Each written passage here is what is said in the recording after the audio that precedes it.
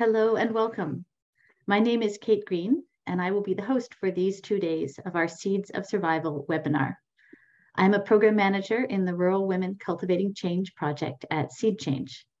It's a great pleasure to be hosting this with the Coady Institute in Antigonish, Nova Scotia, our partner in many ways, especially in working with community groups around the globe. It has truly been a team effort to have this conference today and tomorrow.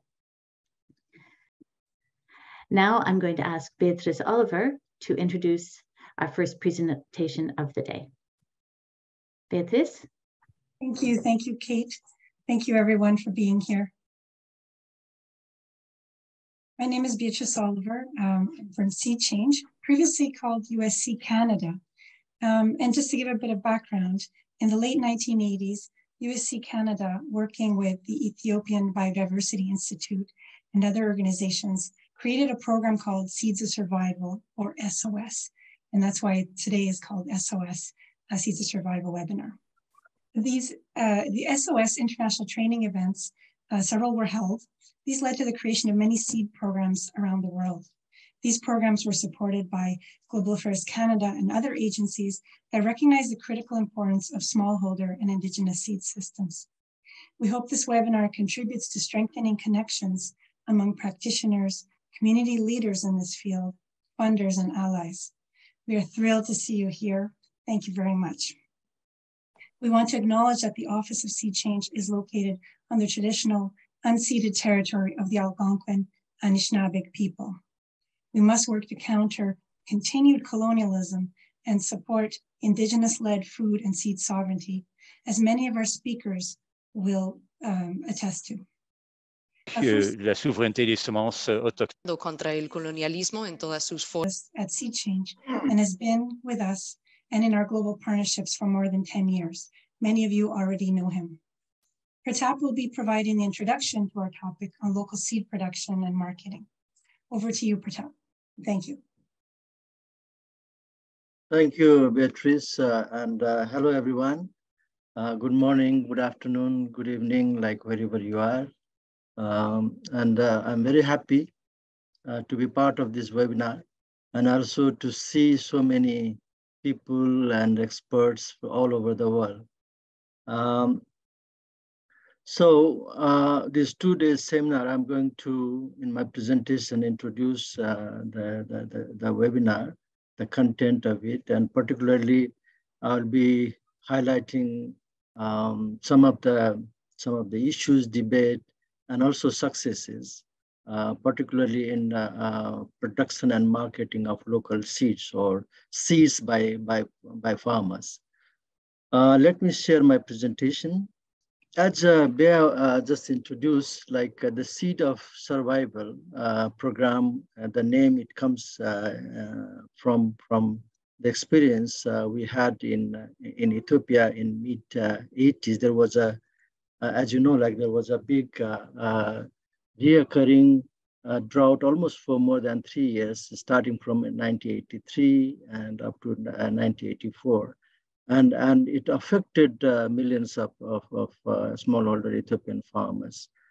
Uh, so that was like a kind of eye opener for all of us, uh, like how important the seed and farmer seed system are, and when it's affected by uh, the events like this, how it impacts the, the local food production and, and the livelihood of the people. And I'm very happy to see our uh, former executive director, Susan Walsh, Dr. Susan Walsh, who have been with us for a long, long uh, time. And she had witnessed that and also saw that program growing and, and expanding uh, from Ethiopia to many parts of the other uh, other country of the of the globe. So I'm just uh, I'm just uh, trying to um, uh, look at like uh, some of the, the, the lessons which we we we learned from that drought and famine in in mid 80s, and and that actually. was foundation of, of the Seed of Survival program which was like uh, uh, that time we had three prominent like uh, organization and people, especially like uh, Dr. Melaku Worede who was working with Plant Genetic Resource uh, Ethiopia at that time. and, and Pat Roy Mooney from ETC Group, and uh, and and seed. Uh, and at that time, we had director uh, John Martin, which they came together and and and and formed developed this this seed of survival program. Uh, with with a learning from that uh, event was like uh, the breakdown of the seed system perpetuates further insecurity insecurity and vulnerability so as it started in mid 80s, the impact uh, went throughout like uh, in, in, the latter part of uh, late 90s to early 90s.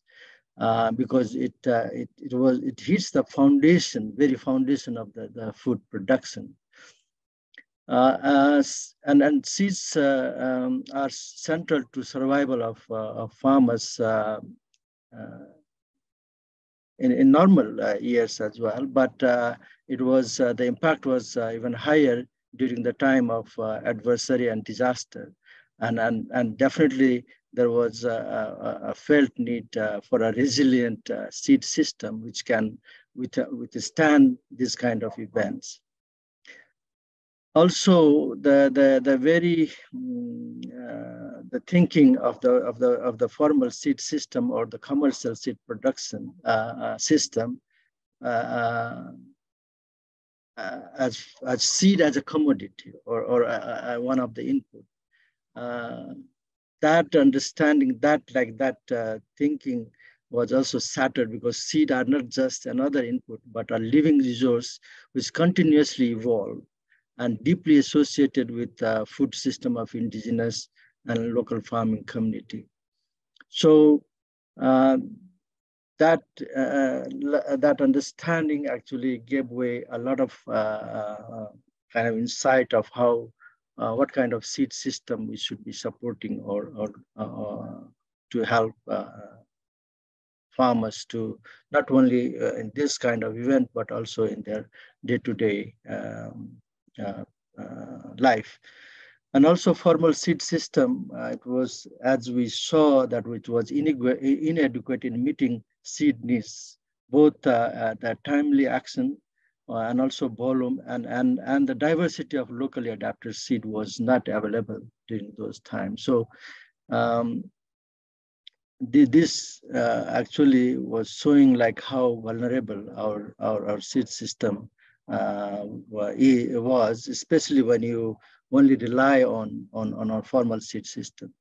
And also importance of conservation and, and continuous redeploying of seed of local land races uh, was very uh, critical. And, and uh, just to share with you, like uh, in, the initial of this SOS program, uh, there was uh, like redeploying, bringing, not only collecting, also collecting and characterizing and collecting uh, the land races, the local uh, seed varieties, but also from the, uh, the, the Plant Genetic Resource Center in Ethiopia uh, was a lot of uh, genetic resources, a lot of local land races were redeployed and, and assessed for different production system. And there is also need to broaden the seed security framework that address day-to-day seed security, um, uh, seed security issue. Uh, and that was very uh, vital as well.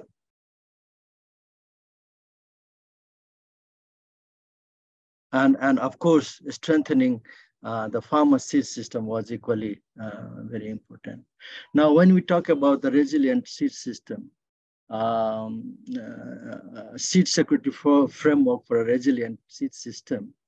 Uh, we are talking about uh, like uh, how how uh, how the, the the the seed system could be supported in a way that we have a resilient seed system, and and there are two uh, two uh, areas I think uh, which which emerged as as a critical was how we empower farmers uh, uh, with that uh, seed security framework. so using farmer, using a farmer-centered and, and holistic approach. So looking at seed system, not as a, only as formal seed system, but also looking at a farmer seed system uh, in, a, in a holistic approach and which I will, I will I'll discuss later on as well. uh, recognizing farmers uh, as a producer, saving, uh, who are producing, saving, exchanging, and marketing seed, and not just mere receiver of the of the seed, uh, seeds. So usually, like what we see in the formal or commercial seed uh, system is uh, we, we see farmers not being able to produce their own uh, seed or quality seed or even the farmer seed system is not recognized. And, and, and, uh, and, and there is this uh, argument that uh, this, we have to provide seeds to farmer all the time, which is not true. Uh, and and it's not realistic to what we see uh, happening in the in the in the in the whole seed system. So expanding uh, and also expanding the seed security framework from three parameters like availability, access, and quality to encompass adaptability, choice, uh, uh, choice of seed, and also capacity uh, of the farmers to produce and save their own seed. And then these last three uh, parameters actually also contributes to the seed sovereignty framework.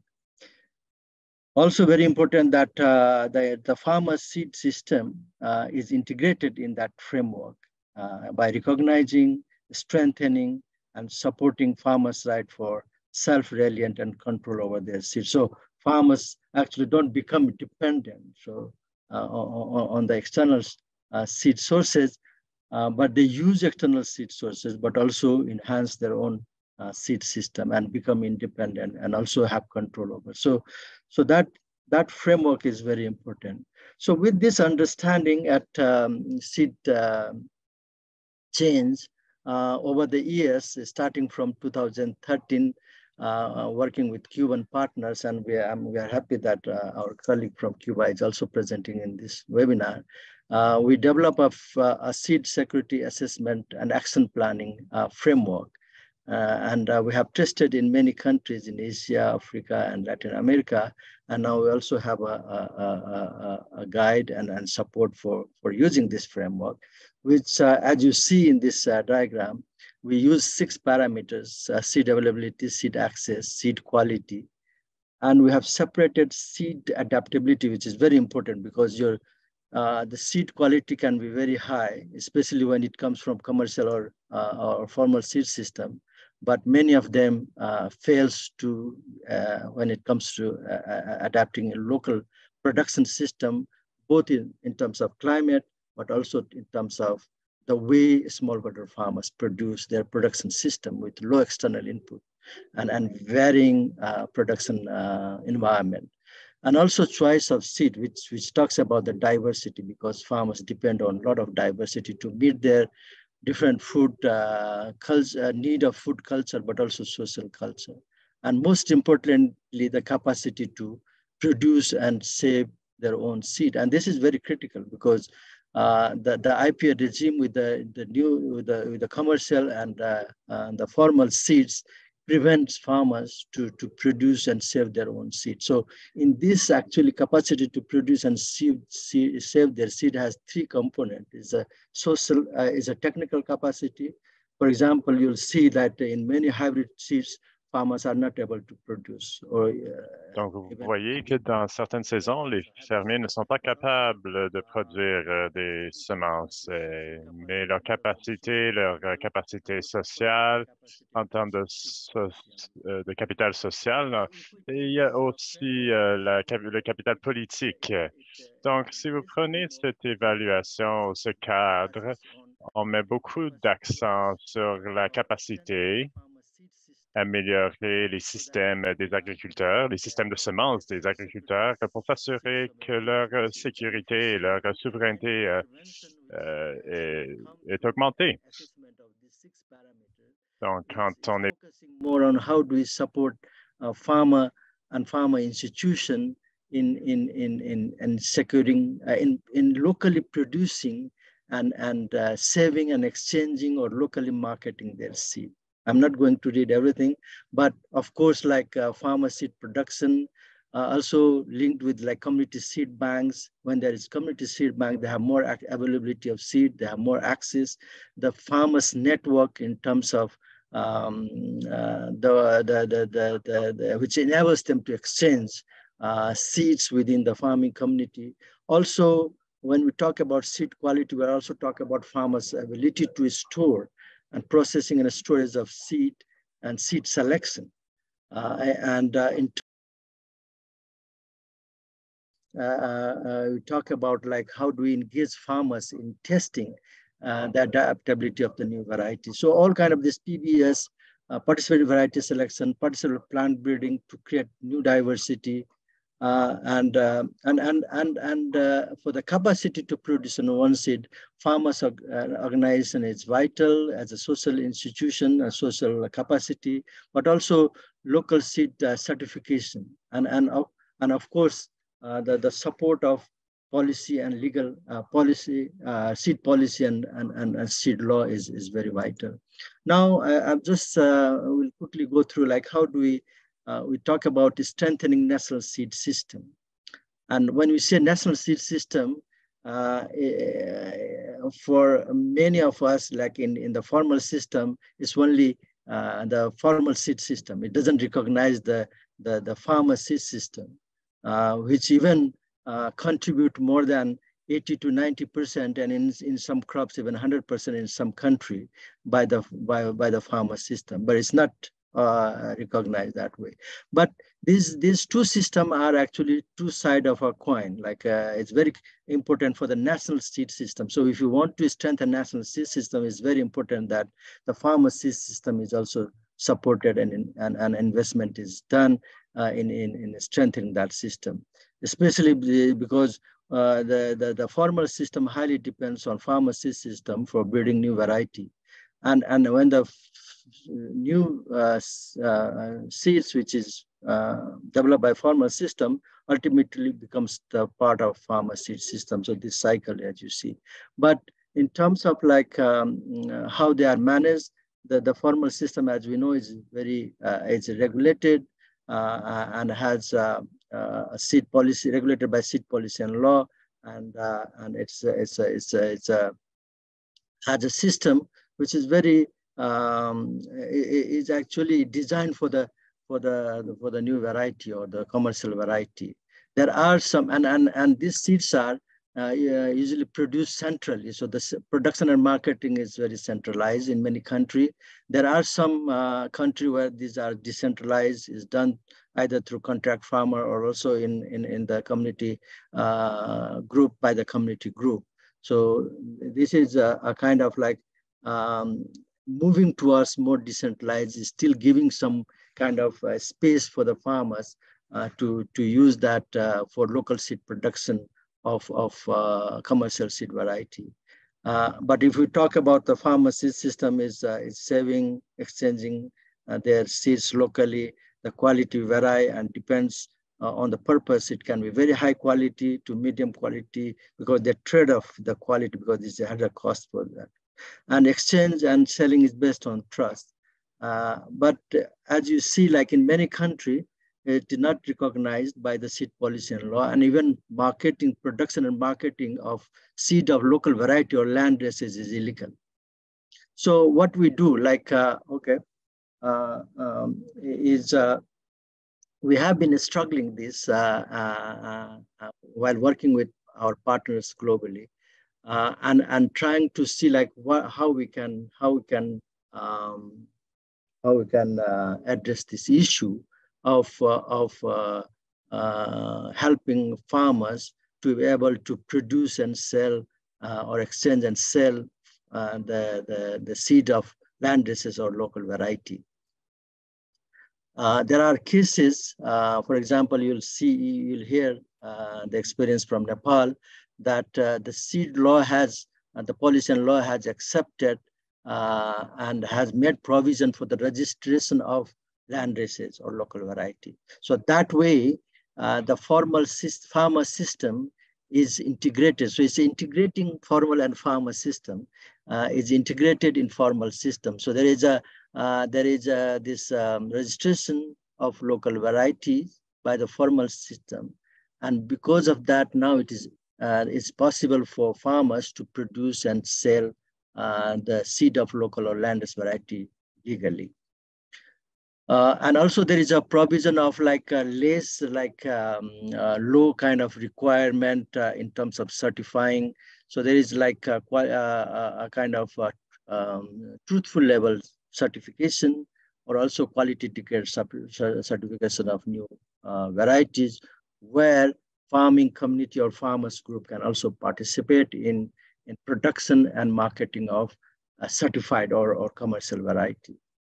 But the, the, the challenge still is like, how do we, how do we, how, how, uh, how can we, um, our farmers can produce and market the seed of local variety or, or, or land races because because of the policy constraint, because policy doesn't allow it. So what we have been uh, suggesting, and and and a lot of our partners, uh, some of our partners are piloting this, is what we call uh, participatory guarantee system, uh, where uh, where farming community like farmers group or farmers institution actually identify, register, identify and characterize and register locally their land races and and use some kind of farmer friendly uh, protocol to ensure quality of the seed and produce that. And, and then and, and, and then is uh, uh marketed in the name of uh, participatory guarantee system because the farming community, like the farmers group or institution guarantee the quality of that seed. So this is now being piloted, and you'll see that uh, in in in in in in in, uh, in the presentation, which will, which is coming up. Uh, but and through that pilot, we want to actually kind of create evidence uh, for uh, supporting like bring like um, lobbying for policy change in support of this kind of seed. So once we do that, then it becomes again the production and marketing of PGS seed becomes legal uh, and it then enters into the formal seed system. So the whole like integration of pharma and formal and informal seed system actually is a, a strengthened the national seed system. So that is the, the whole idea.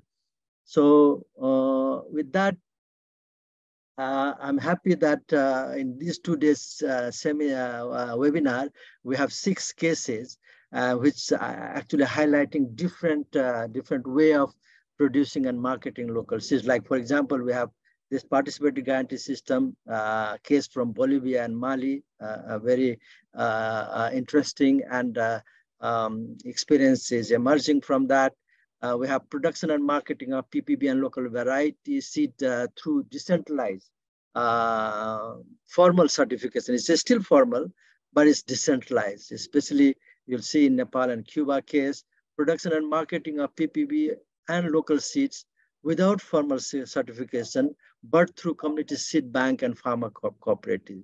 And you'll see that in Nicaragua, our DESA colleagues will share that uh, experience. And then we have piloting of uh, production and marketing of locally certified PPB and farmer seeds through engagement of CIAL and farmer uh, seed committee in Honduras. So I, I hope like, uh, I, am sure uh, you'll enjoy those uh, and um, the six cases we have for this two days webinar, but we are also uh, Uh, will welcome the ideas and some of the experience uh, you have uh, during the discussion. But also this is a beginning of, uh, of, this uh, same uh, webinar series, which will also uh, in future, we want to continue this and also uh, provide this as a platform for other organization, other as a community of practice, especially working in the in, in market production and marketing of of, uh, of uh, seeds of local variety or seeds produced locally and marketed. So with that, I, I, I conclude my presentation. Thank you. Uh, thank you, Bea. Now, um, Thank you very uh, much, Pratap. Yeah. Thank you, Kate. Over to you. Thank you for starting us off on a really interesting two days. Our next speaker is if you could stop your screen share, Pratap. Yeah, yeah, thanks. Yeah. Our next, uh, we've had many people join us, and we're so pleased to have so many people attending the webinar today. Uh, we do have interpretation available. Select the language of your choice at the bottom of your screen. And we will be having a discussion and sharing time at the end of the presentations today. And we will also have a slight break at the two hour mark. Our next speaker is Felix Valle Vega, the director of PRODI in Bolivia. He is an agronomist specialist on local development and agroecology with extensive experience in participatory guarantee systems developed in farmer communities in Bolivia. He's the executive director of the Comprehensive Interdisciplinary Development Program, which is what PRODI translates to in English. Felix, over to you to share your screen. You have 15 minutes.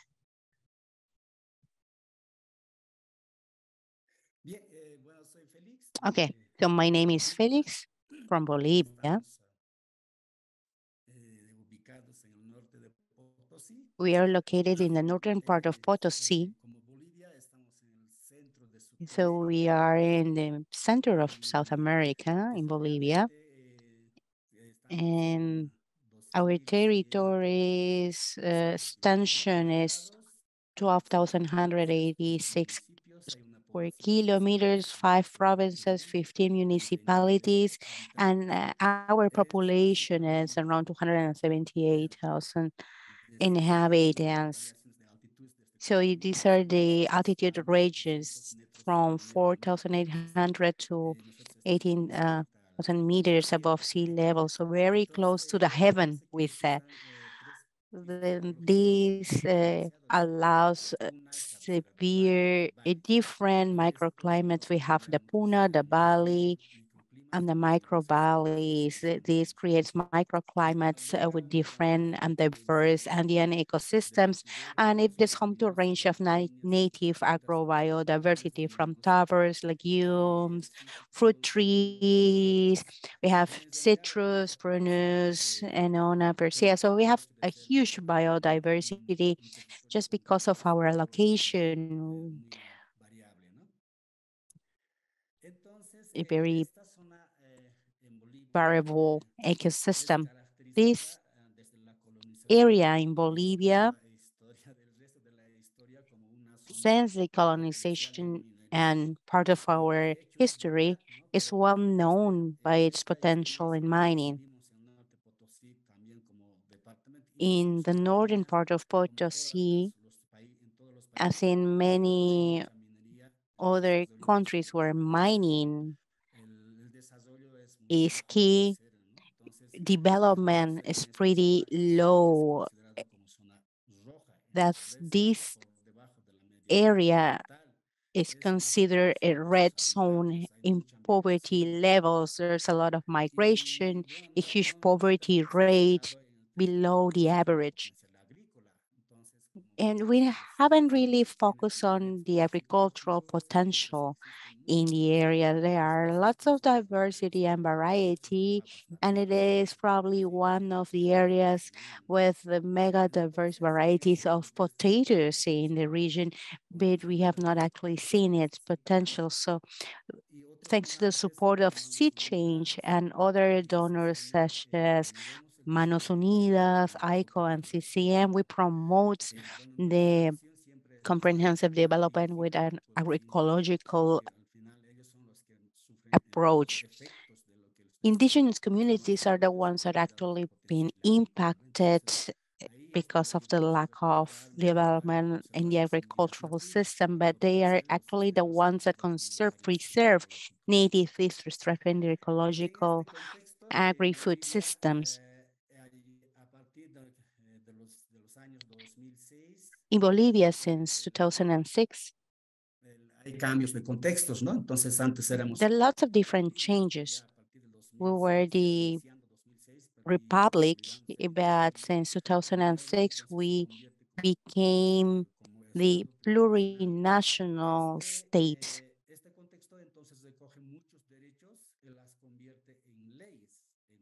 Lots of rights become law, legislation that support the ecological production towards the good living.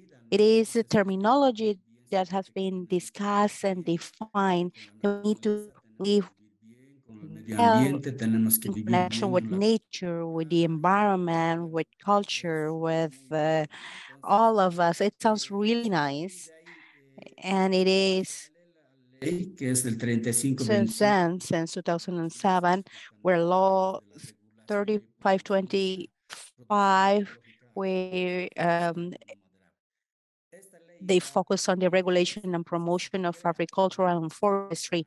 A national technical standard was created, which is called the SPGs, approved by the um, resolution in 2012. We have been promoting this law where we define exactly the main aim of it. This ecological production system has two different certifications. This national system of control of organic production has different types. First of all, for international trade or export recognized by the ISO Guide 65.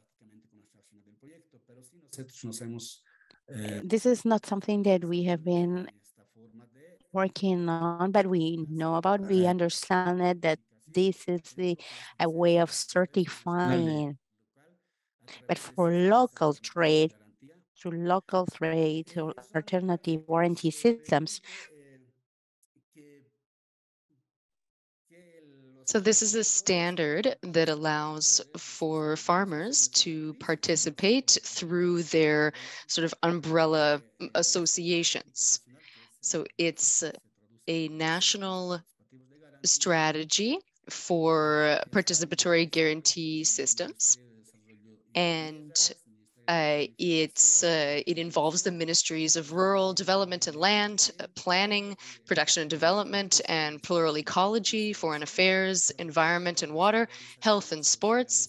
But in addition to these uh, civil society organizations that are involved, there's also uh, different workers groups. You also have uh, representatives of uh, uh, Organization for Communications in Bolivia. And these are all of the groups that you know represent uh, society.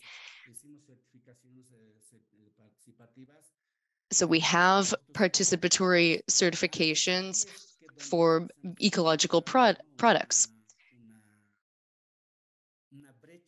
And this is where we see a gap, if you will. So although this uh, you know, participatory guarantee system gives opportunities to farmers, they're able to sell their products, they forget about seeds. So we are trying to demonstrate that farmers produce seeds because that's part of their their their work in the uh, family the, the plan for a household uh, there is some production that is for household consumption some is for sale and to uh, develop seeds, there are different standards for this. And so this is where we're encountering problems. We have tried to, well, everyone always says seeds are the start of the food chain, and they're also the heritage of indigenous people. But if we look at the general seed standard, uh, it imposes mandatory seed certification. Uh, so the seed has to be certifi certified. And if not, uh, there are penalties for uh, selling, distributing, transporting, donating seeds. All of these things can be penalized if the seed is not certified. So let's say you uh, can sell, you can exchange I, you know, all of these things are are very common behaviors with seeds, uh, traditional uh, customs. However, this is something that uh, there's is now being prevented. So the seed has to be registered with INIAF, the National Institute for Agricultural and Forestry Innovation. And in order to uh, in order to be certified, it has to be registered with INIAF. And to register it, you have to be the breeder. So under the law, uh, it's a person who has put this through a process of improvement and so on. So uh, here we have a gentleman that I know, uh, and uh, he and uh, his wife here, they uh, collect seeds and conserve them. And they have uh, many, many different type of types of seeds for potatoes that you can see on the right. These are very different from conventional um, traditional potatoes. They're many different uh, varied strains. These are not registered. They uh, are not able to register them because it is not easy. It's very, very difficult to register seeds uh, with INIAF. So here, seizing opportunities. So legal opportunities, for example. In 2009, when uh, the state became plurinational, there was a lot of uh, changes in regulations so suddenly people would talk a lot about mother nature about living well and these kinds of terms that hadn't been used at the state level in the past. And so there was um, a focus on protecting genetic resources. So in uh, article 381 paragraph 2 it indicates that the state will protect all genetic resources and microorganisms found in its ecosystems as well as the knowledge associated with their use and exploitation and but then we have a law 144 of the community farming production revolution in its article 13 on policy for strengthening the productive base we have seeds so the production use conservation and exchange of high quality seeds shall be promoted and protected to guarantee their supply for production uh, by means of encouraging the recovery, conservation, breeding, production, and spread of indigenous peoples' native seeds.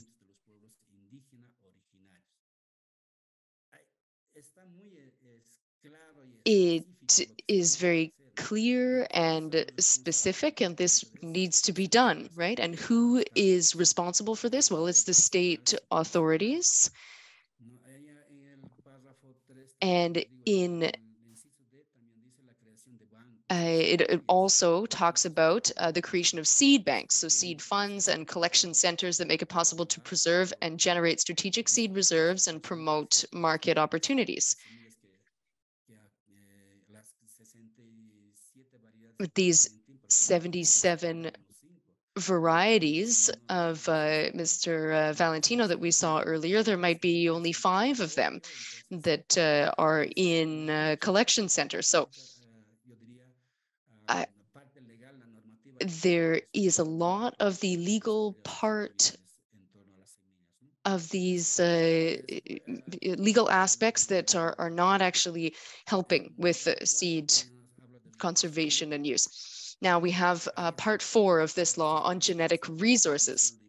So here is where we see the National Institute for Agriculture and Forestry Innovation, INIAF. Uh, it's in charge of guaranteeing the conservation administration uh, in situ or in the place of origin and ex situ or outside the place of origin of the genetic resources of agrobiodiversity. Uh, so the state you know here needs to do something in order to make sure that seeds are preserved and and and improved upon. So what we are looking into and you know still part of this analysis given all of the the difficulties that are faced of being able to register seeds with INIAF. Uh, we are reading through it. In Bolivia, we have about 2,000 varieties of potatoes, but only 47 of them have been registered. And of these, not a single one of these registrations has actually been requested by a farmer. So under the uh, national uh, regulation on seeds, the farmer is never the breeder of the seed. So they, they cannot be considered the breeder because this regulation puts all kinds of things uh, up to block this from happening. You basically have to be an engineer in order to uh, comply with, with this requirement. So given this situation, our proposal is, uh, well, and we're already working on a community seed registry. So what we're doing is uh, working on in situ conservation and protecting farmers' knowledge.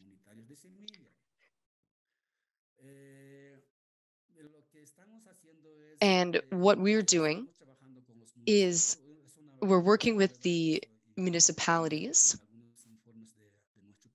and we've got some reports for our project. So we have already seen some progress. So based on the regulations that we have, uh, the uh, productive uh, production laws, different different acts. Um, the municipality is working on a standard to be able to say these seeds belong to this municipality and of the farmers uh, that are based here. So we're working on this.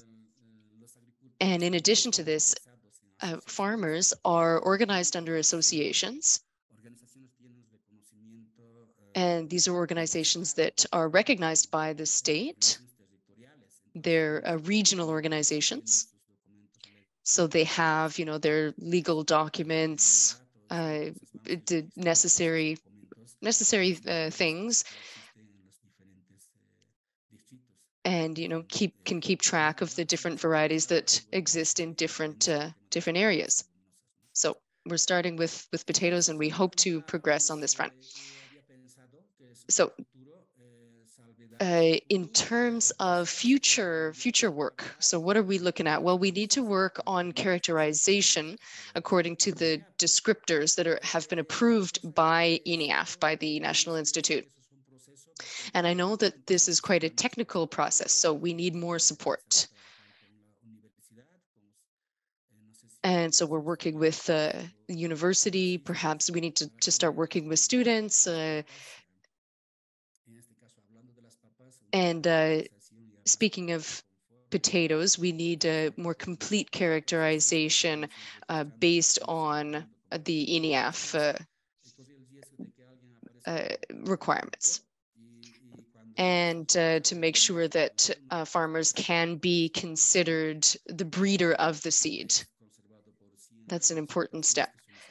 And so, you know, things can be, you know, maybe you've been preserving something for 100 years. This needs to be registered under INIAF. So uh, this is sort of the danger that we're seeing, you know, around seeds. Not being able to do this work, of course, poses problems. So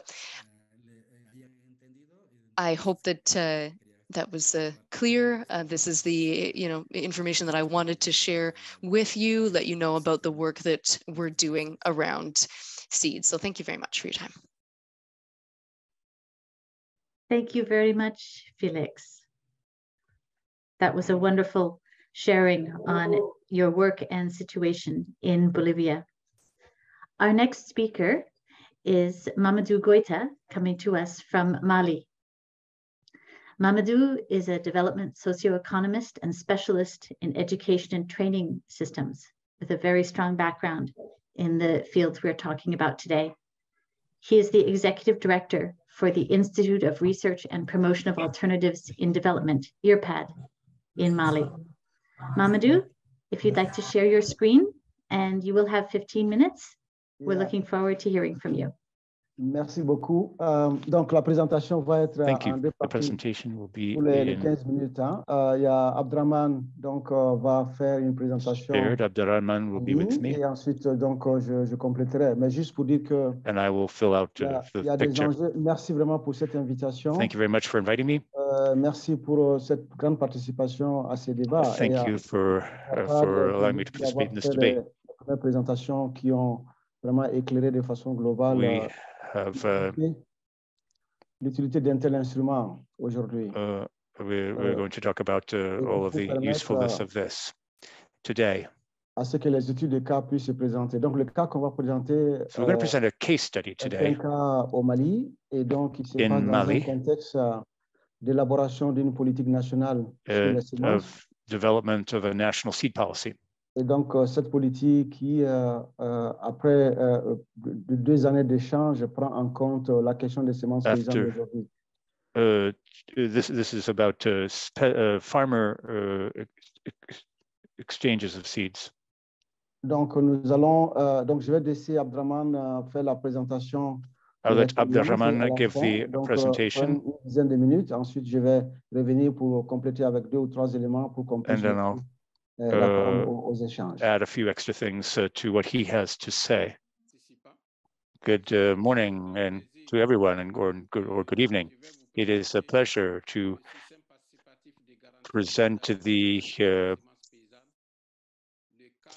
um, participatory guarantee system um, for uh, vegetable seeds in our region, the Mopti region.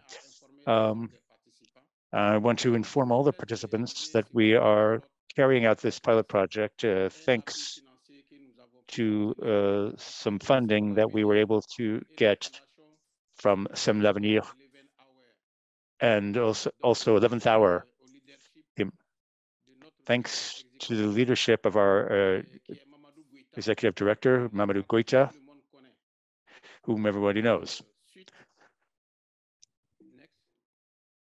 Next one, please.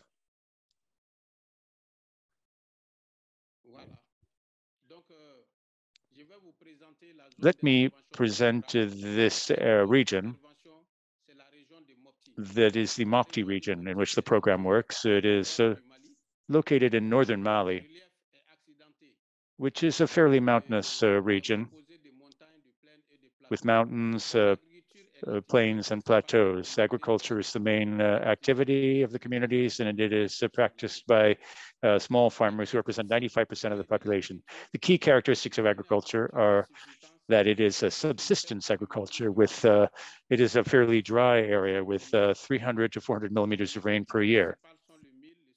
Main crops are millet, sorghum, um, and uh, uh, farmer vegetable uh, seeds have almost disappeared, 90%. Next one, please. 90% are gone.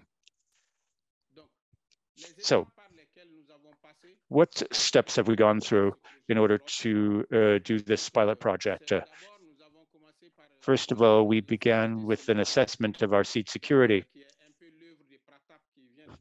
which is what uh, basically what Pratap was presenting earlier. And then, and then we worked on a market and a marketing strategy study. And we set up a, uh, a participatory guarantee system team and quality assurance team with 15 people. That team is composed of all the people who are working in our region on uh, uh, seeds, uh, uh, both uh, including the beneficiaries. At this stage, we went on to uh, creating the uh, team so that people could uh, understand the participatory guarantee system, PGS. And then we we started working on production of uh, uh, we gave uh, some some training on on on how to do all how to produce your seeds, how to market them, what infrastructure do we need to do that, and so on. Beatrice, next one. En place l'équipe SPG. Nous avons élaboré un guide SPG et d'assurance qualité, un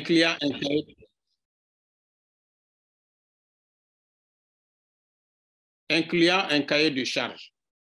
Donc, euh, ce travail, nous l'avons fait pour que l'équipe bien maîtriser le concept SPG. Le concept SPG au Mali est un nouveau concept. Afin de les amener à adhérer euh, au concept guide SPG et d'assurance qualité. Donc, ce qui nous a permis, alors, présentement, nous sommes en train de produire 13, 13 cultures maraîchères avec au minimum deux variétés par culture. Donc, les recettes de l'organisation bénéficiaire s'élèvent aujourd'hui à two, two varieties per crop.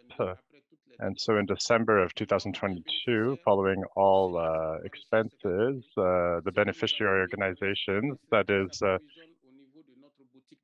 those who are using our uh, boutique uh, to buy their seeds, uh, 99 people, including 44 women from 19 localities in the Mopti region. And in addition to these uh, recipients, we have uh, organizations who also uh, get their seeds from our boutique to, to revitalize the community, to get market garden seeds.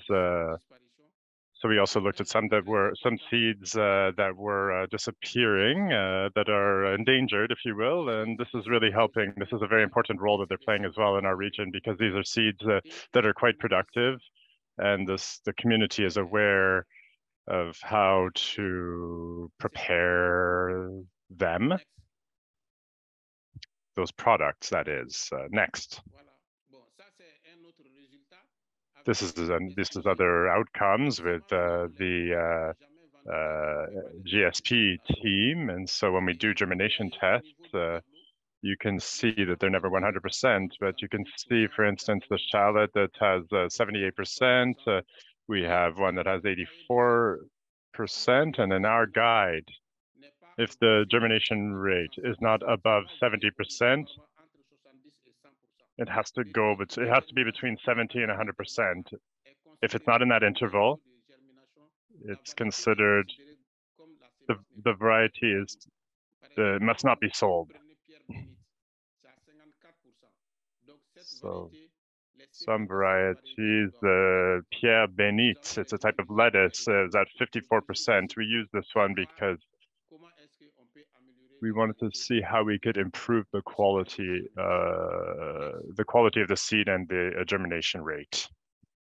Next.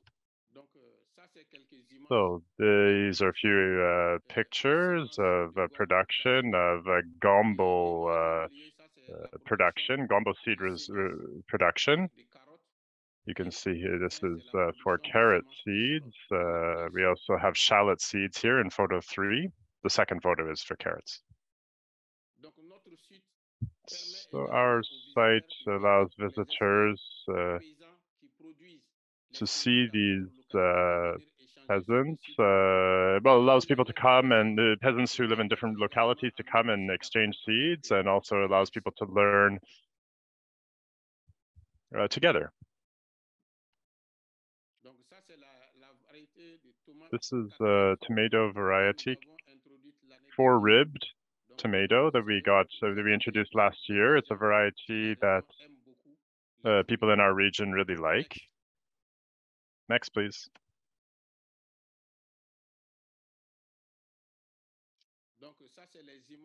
Here are some pictures of, on the left, uh, shallot seed production. In the middle, We've got onion seeds, uh, onion seed production, and the last one there is uh, lettuce seed production. Next.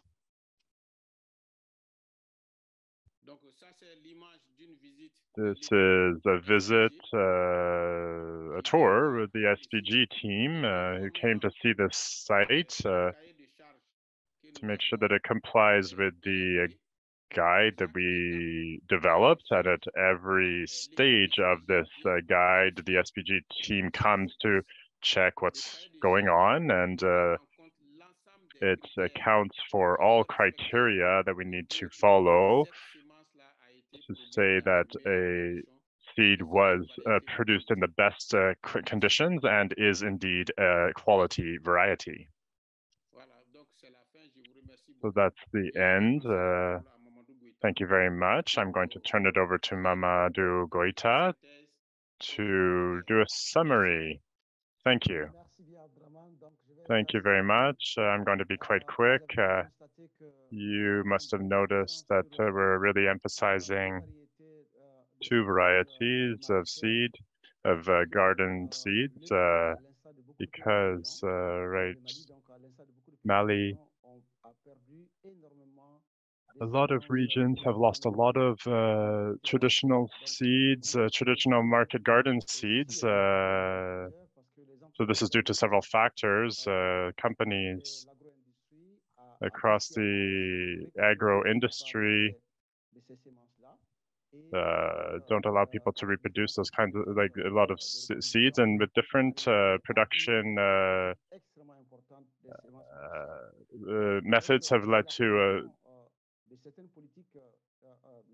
there are also certain policies that are related to seeds that really did emphasize uh, two different models, uh, revolutionary models, uh, which also contributed to um, the to the genetical the genetic uh, variety of these seeds as well. So in an environment, uh, in a hostile environment, uh, um, we had to re constitute this uh, seed sovereignty, and we wanted to increase the appetite of uh, peasants and people looking to work with uh, organizations to put this in place. So the whole matter of uh, of uh, modern agriculture uh,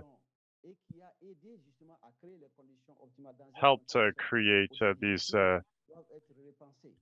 conditions in a difficult context, and so we had we decided to we decided to leave the practical well to, to focus on the practical dimensions and also a participatory uh, certification with a few states so we could influence public public policies so this has an uh, uh, these policies have been influenced uh, by uh, practices on in the field, and uh, Mali today is recognized. 150 of our uh, seeds are really peasant seeds. Uh, so these are exchanged and uh, given away and exchanged between different communities. And this allows us so we also have a freedom to use them uh, with uh, the systems that we have uh, in place. Uh, and this allows uh, everything that the previous presenter said to, to, be, to, to, to be in place as well, so for us to, to function that way. So we wanted to integrate these peasant seeds into the public policies. so in terms of the benefits that we can get, but also for stability uh, to produce uh, these seeds in a stable manner. So we currently have in Mali 45% of revenues uh, in uh, in uh, from uh, from the agricultural milieu that comes from vegetable and fruit production. So we do depend on rainfall, and so when there are shocks in the climate, well, the the production. Uh, we want to be able to everybody but to have a, a supply of seeds uh, and to be able to continue to produce these uh, these seeds. So we want to be able to have an economy where we can reproduce these these seeds, and we want them to be adapted to the agroecological uh, conditions that we're working within. So, in taking into consideration this uh, condition, we produced a system that guarantees the community's uh, uh, high quality seeds uh, with the conditions that are defined by the community. And this provides stability and uh, sovereignty. I'm going to stop there without going into too many de details. Uh,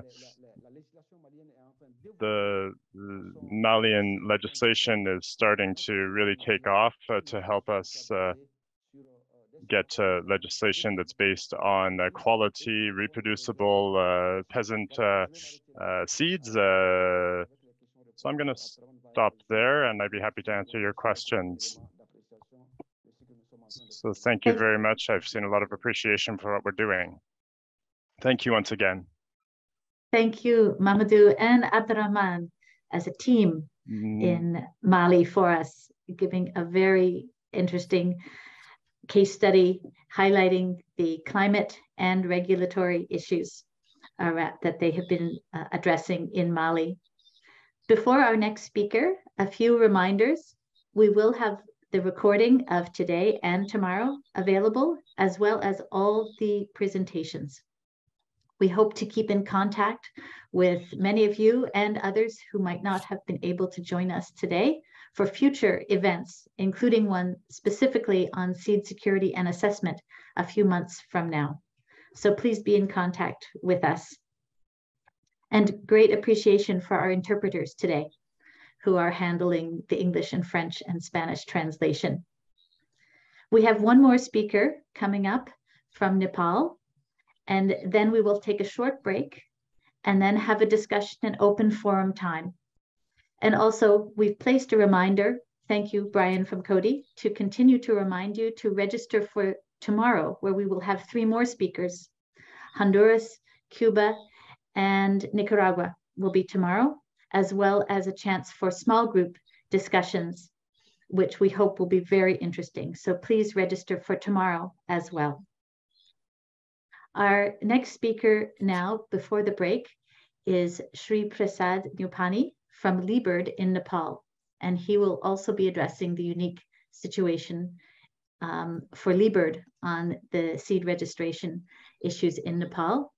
Sri Prasad is an agronomist and key plant breeder and researcher with LI-BIRD with decades of experience on local registration of farmer varieties. Over to you, uh, Sri Prasad. I'm so glad you could join us, even though it is very late in the evening in Nepal. Uh, hello, everybody. Um, I am going to present on our experience, especially on uh, system for local variety registration and certification in Nepal. First of all, uh, I would like to uh, introduce uh, about some about our uh, organization, LI-BIRD. LI-BIRD is working on agrobiodiversity, uh, especially its conservation and utilization, as well as we also work on the uh, climate change and also the uh, variety, especially the participatory plant breeding activities we are handling here in LI-BIRD uh, uh, with the co collaboration with Nepal, Nepal Agriculture Research Council and various research institutions uh, within the country and outside the country. Uh, this is the outline of my presentation. Uh, actually, uh, in this presentation, I will try to highlight the local variety uh, registration, our experience on local variety registration and the uh, seed certification system of these varieties. And so first of all, I would like to give the state of the art about the participatory plant breeding intervention that we are carried out. And then I will try to highlight about the scope of farmers-led participatory plant breeding uh, program in Nepal. And then I will focus on the farmers' initiatives on registering the varieties in Nepal, and especially how the farmers are engaged in the variety registration of local varieties and their um, how we are maintaining the farmers varieties at the field level, especially the farmers with farmers as a front seat. And uh, those varieties which are developed, uh, which are especially um, uh, registered by the farmers, how they have been uh, institutionalized with the government system and how their system is maintained. So I will try to capture some of the uh, some of my speech on the seed certification system that we are working on. And finally, I'll try to highlight on the sustainability approach of the participatory plant breeding, especially the farmers-led participatory plant breeding initiatives that we carried out in Nepal. Uh, this is uh, somehow about the farmers-led participatory plant breeding. Uh, this is a very simple and effective approaches where farmers will identify and select the varieties based on their need. So uh, most of the, so these activities will be carried out with the, um, by utilizing the farmer's field. And so farmers will be in the driver's seat uh, to carry out the breeding activities. And in this kind of uh, participatory plant breeding, uh, the farmers will collaborate with the scientists and the technicians to identify the varieties uh, where the most of the research and the breeding activities will be uh, carried out by utilizing the farmer's field. And so the farmers will be engaged not only in the last stage of the variety, because most of the our, most of the conventional breeding program is uh, where uh, most of the uh, research activities, the breeding activities will be uh, carried out in the one station in the in very confined environment, and the varieties which are developed from the research system will be carried out in the farmers uh, first for the testing and the multiplication. So there are various limitations of this approach. So in this farmers-led participatory plant breeding, farmers will start their journey from the very beginning. They'll select the parent and they will screen the germplasm and they will finally register the variety and maintain the source system. So today's presentation, I would like to highlight how the farmers were engaged in the variety registration systems, especially the local varieties, into the national system. And so this is the whole approach where the farmer will be engaged uh, in this system to contribute of the farming community uh, where the agriculture is the mainstay of them. And this is the context, especially in the country and also in Nepal. And we are facing, due to the climate change, we are facing various uh, biotic and abiotic stresses in these days. So this is the scenario that, that we are facing the drought due to the climate change and the biotic stress and different biotic stresses. And due to the, uh, the outbreak of this disease and insect in the recent years.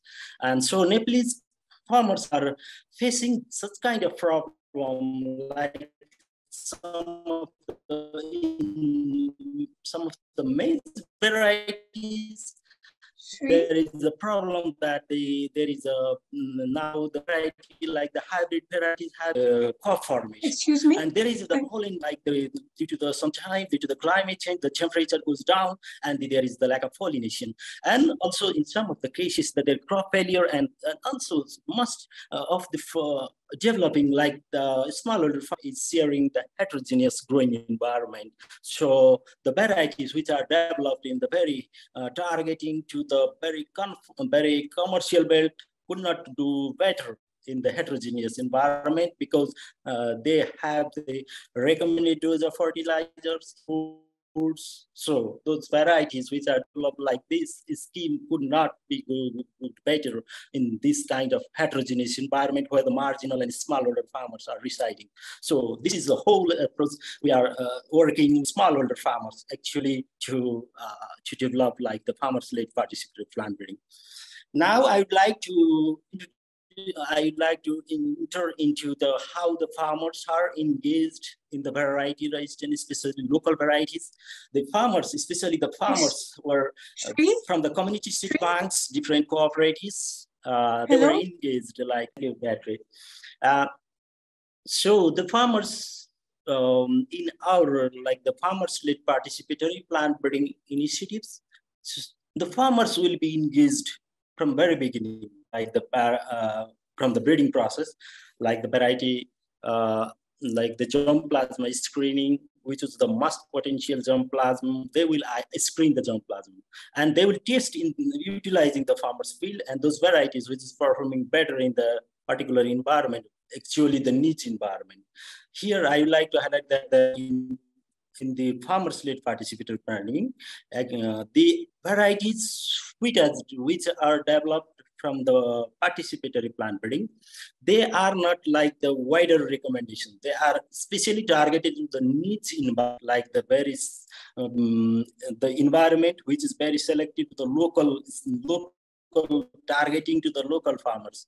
So the varieties which are developed by this uh, uh, with the farmers mostly uh, by the farmers by themselves uh, where the technicians were collaborating with the farmers and to identify their local varieties and to register. This is the snapshot uh, in this uh, slide, slide, you can see here that the farmers is giving the presentation with the national seed, uh, like the seed quality control center. In, in our cases, we call national seed board. Uh, there is a variety registration and re variety release registration uh, subcommittee, and this committee, in front of this committee, this is the very technical committee. There, the farmers is giving their presentation like this is our local varieties. We have the uh, this is we test in the farmers field and we identify this is the most potential variety. And we are going to um, uh, and for this kind of local variety registration how the farmers is doing like they are collecting the one season data like the first like uh, they are testing not like the very very scientific like um, there are various approaches of registering the variety. Some of the variety there need the, like two to three years data. But especially for the local variety registration uh, they need the one season data and they are mostly targeted to local language. And the varieties with like uh, they have been uh, growing from a very long time. And so they have been evolving with the uh, with the uh, with the current context. And they have been very very good uh, those varieties which are performing better uh, will be they will collect the data and they will submit the data to the technical committee and the, and the farmers will give the presentation rather than like us and our team.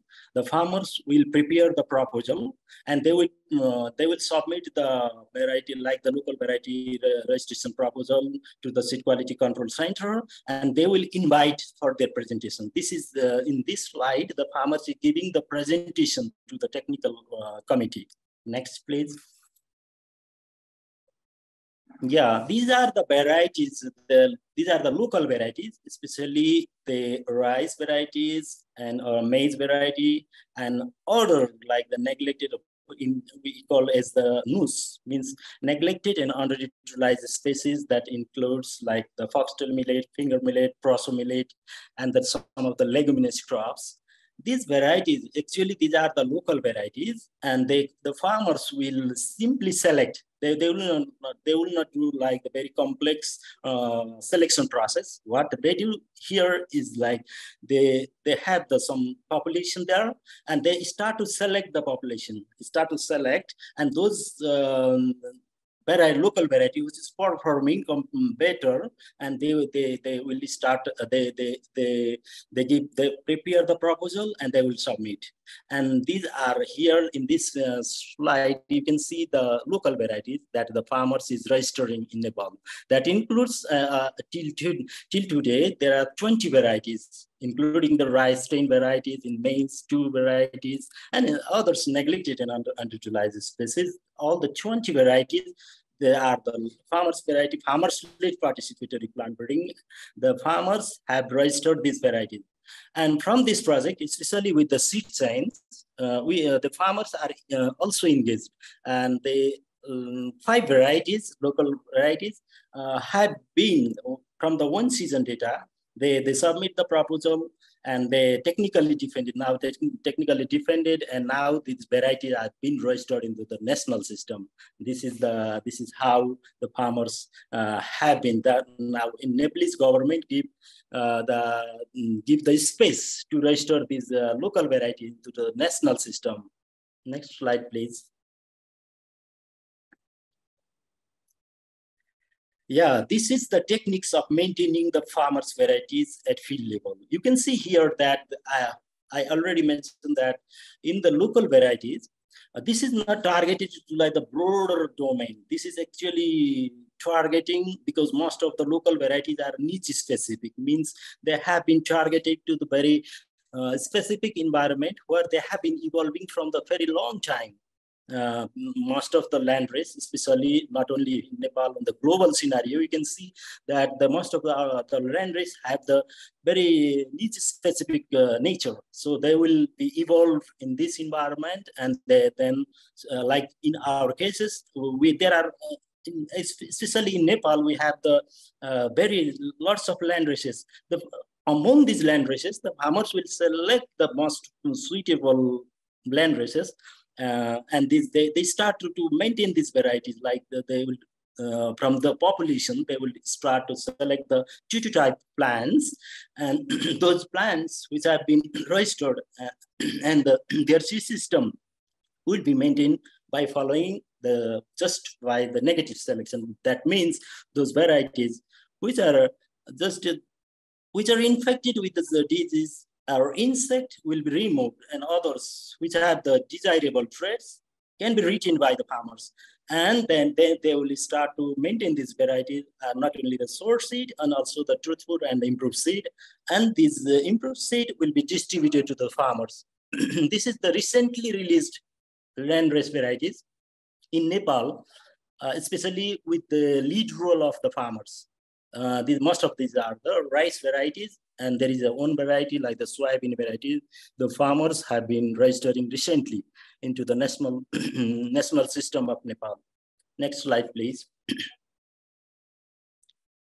um, now I would like to enter into the seed certification system uh, of the local varieties.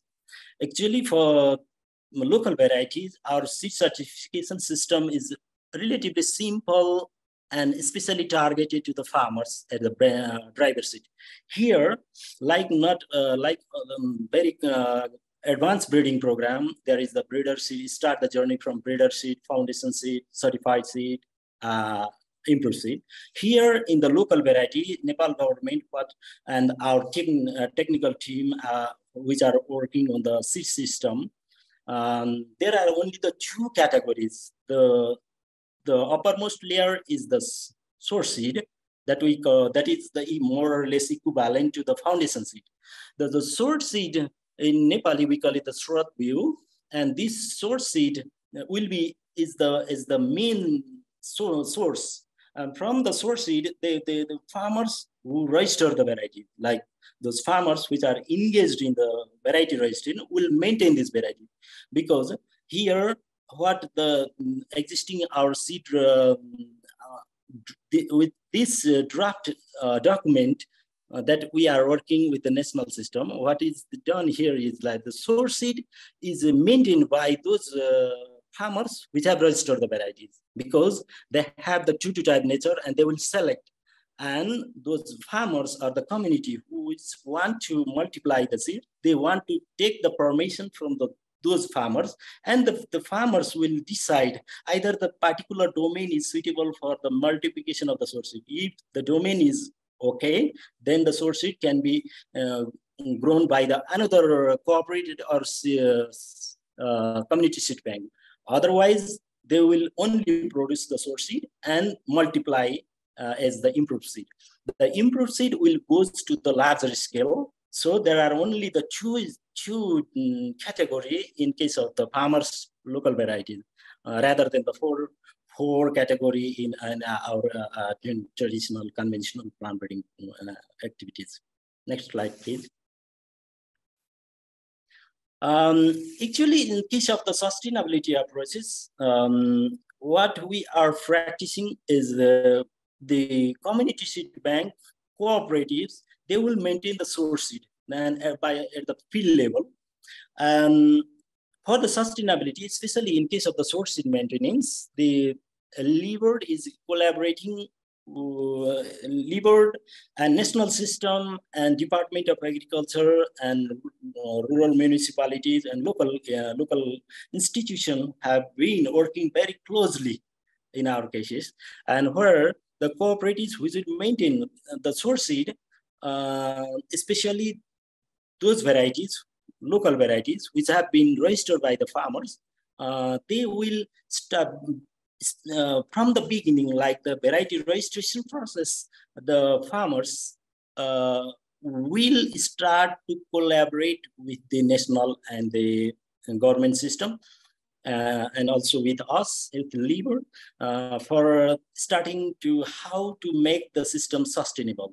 So here in our cases, the what the farmers is practicing is uh, they will uh, they will produce the seed, source seed, and they will start to technically uh, they will seek the support. And uh, now the government and national system is uh, working together to maintain the, the local seed, source seed at the field level. From the institutional approach, especially in case of the LI-BIRD, and we have our own mechanism and how to strengthen the, uh, the farmers community and the institution um, for maintaining the source seed of those local varieties. Uh, so in our cases, we have uh, created some of the um, local innovation research and development fund in, in, in LI-BIRD. Um, uh, there is a like small basket fund. And from this fund, uh, we started to support the, this community institution, like the maintenance breeding, on-farm research, and others uh, breeding, uh, like the, these varieties which have started to, to, to register by this. And so in this whole process, what we, what we are doing, not only on registering the varieties, and but also working on the source maintenance. But mm, most important thing is that the farmers is selecting the genotypes. They will start their journey from the existing population. From the population, they will select the varieties, local varieties, which is novel one. And those novel varieties, they will be tested uh, in the farmer's field.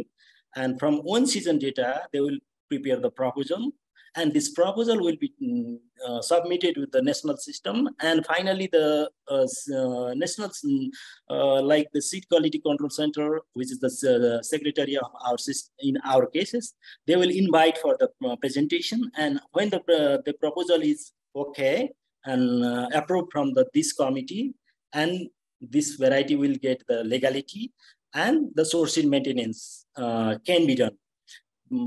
Mm, uh, in our uh, seed regulation, there is another uh, there is another uh, point here is that those varieties which have not been uh, legally registered cannot be sold into the market as a uh, agrovets and other cooperatives. So this is the whole system. Those varieties which need to be registered need to be maintained. So this is uh, the, the sustainable process. Yeah. Next slide.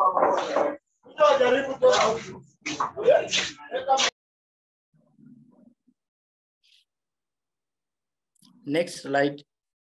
Thank you. So, the, uh, sorry, due to uh, internet disturbance, I could there is uh, some disturbance on the floor. But uh, if there, if you have any queries and comments on my, our presentation, I'm happy to uh, share my views and our views to you. Thank you. Thank you for that time. Thank you very much, Sri Prasad. It is really great to have your slides and also to hear from you, even with a little bit of um, interference on the internet. The recording and all of the presentations will be available to everyone who is attending today. That is a reminder. Thank you again to our interpreters, interpreters today. Now we're going to have a time of open discussion uh, moderated by Pratap and Beatriz. Again, we have interpretation available at the bottom of your screen and a little globe next to the reaction button. Hopefully everyone has been able to find that. The recordings and presentations will all be available and shared. And do watch for announcements of further conferences like this, especially about the Seed Security Assessment and Action Plan in detail in the coming months. So with that, I think we will open up the forum. Please pay, place your questions uh, on, and ideas in the chat or raise your hand using the reaction button. I will do it on my screen so you see what it looks like a little hand will raise like that. And Pratap and Beatrice will uh, call on people and we hope we can have a valuable discussion. Over to the group. But since you're here, a question for you. Seeing as you spoke for a little less time, or was there anything you wanted to add that you saw in other presentations, uh, some similarities, things in common, any potential for future collaborations uh, or to exchange uh, further information? That's a question for you. Okay, thank you very much. What I presented, I can say that anyway, it's, it's very similar to what Pratap presented.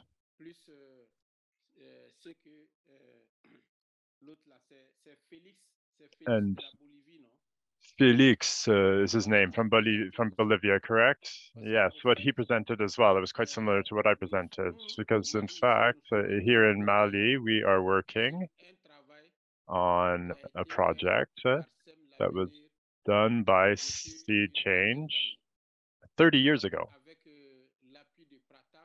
So with Pratap's uh, support,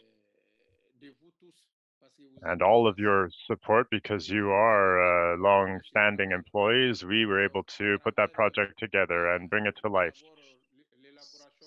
So first off, we had the uh, seed security study that we did in compliance with uh, the methodology guide that was uh, developed with uh, the help of uh, Pratap and several others, and Pratap improved this as well. And so that's what we're continuing to work on. And now with this new concept of SPG, uh, which is for uh, seed security, we've adapted it to this new context. We've uh, taken several elements that we looked at with Pratap and Marvin uh, on, in our last meeting in Ottawa, and we are currently working through that. It's a new concept for us. So what we had to do here, seeing as the Malian government hasn't yet approved the, or hasn't yet recognized uh, uh, uh, peasant uh, seeds. Uh, we're working on uh, we're working with our partners just on a trust base, basis. So we were able to identify all uh, partners with the with the state, with the government on uh, seed production and on uh, certification matters also on biopesticides, on, on organic fertilizers. So we have tried to work with those structures so that people that have a certain level of expertise uh, on this in this area can be part of this SPG team. So the guide that we developed and the agenda that we prepared with various criteria, using various cr criteria and uh, selection criteria for uh, seeds or varieties. When we do that kind of work, somebody comes and wants to pay for our seeds uh, and uh, looks at the germination rate. If that person is part of the team already, it means that the variety is a high quality one. Because in Mopti,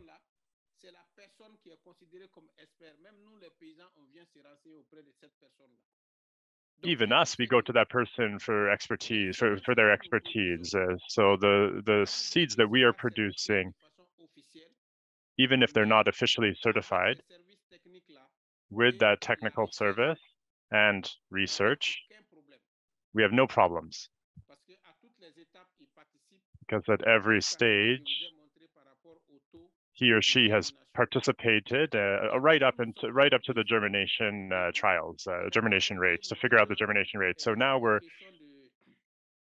faced with the question of degeneration, the, the degeneration of our varieties. Uh, so that's why we wanted to look at local varieties to see what they're doing to maintain them. For instance, when you produce uh, the lettuce variety or tomato variety. One of the questions I would like to ask to Pratap is to see if he can help me find, well, anyway, to see if he can help me find the answer. How should we go about uh, ensuring that we can always maintain a pure variety because it degenerates. Yeah, I showed you a variety of tomato, the one that we like here. And we have very huge uh, uh, yields with that, but then we see that uh, over time the fruits become smaller. So what can we do? I just, that's the solution that I'm trying to figure out in the fields with the SPG team when we do production.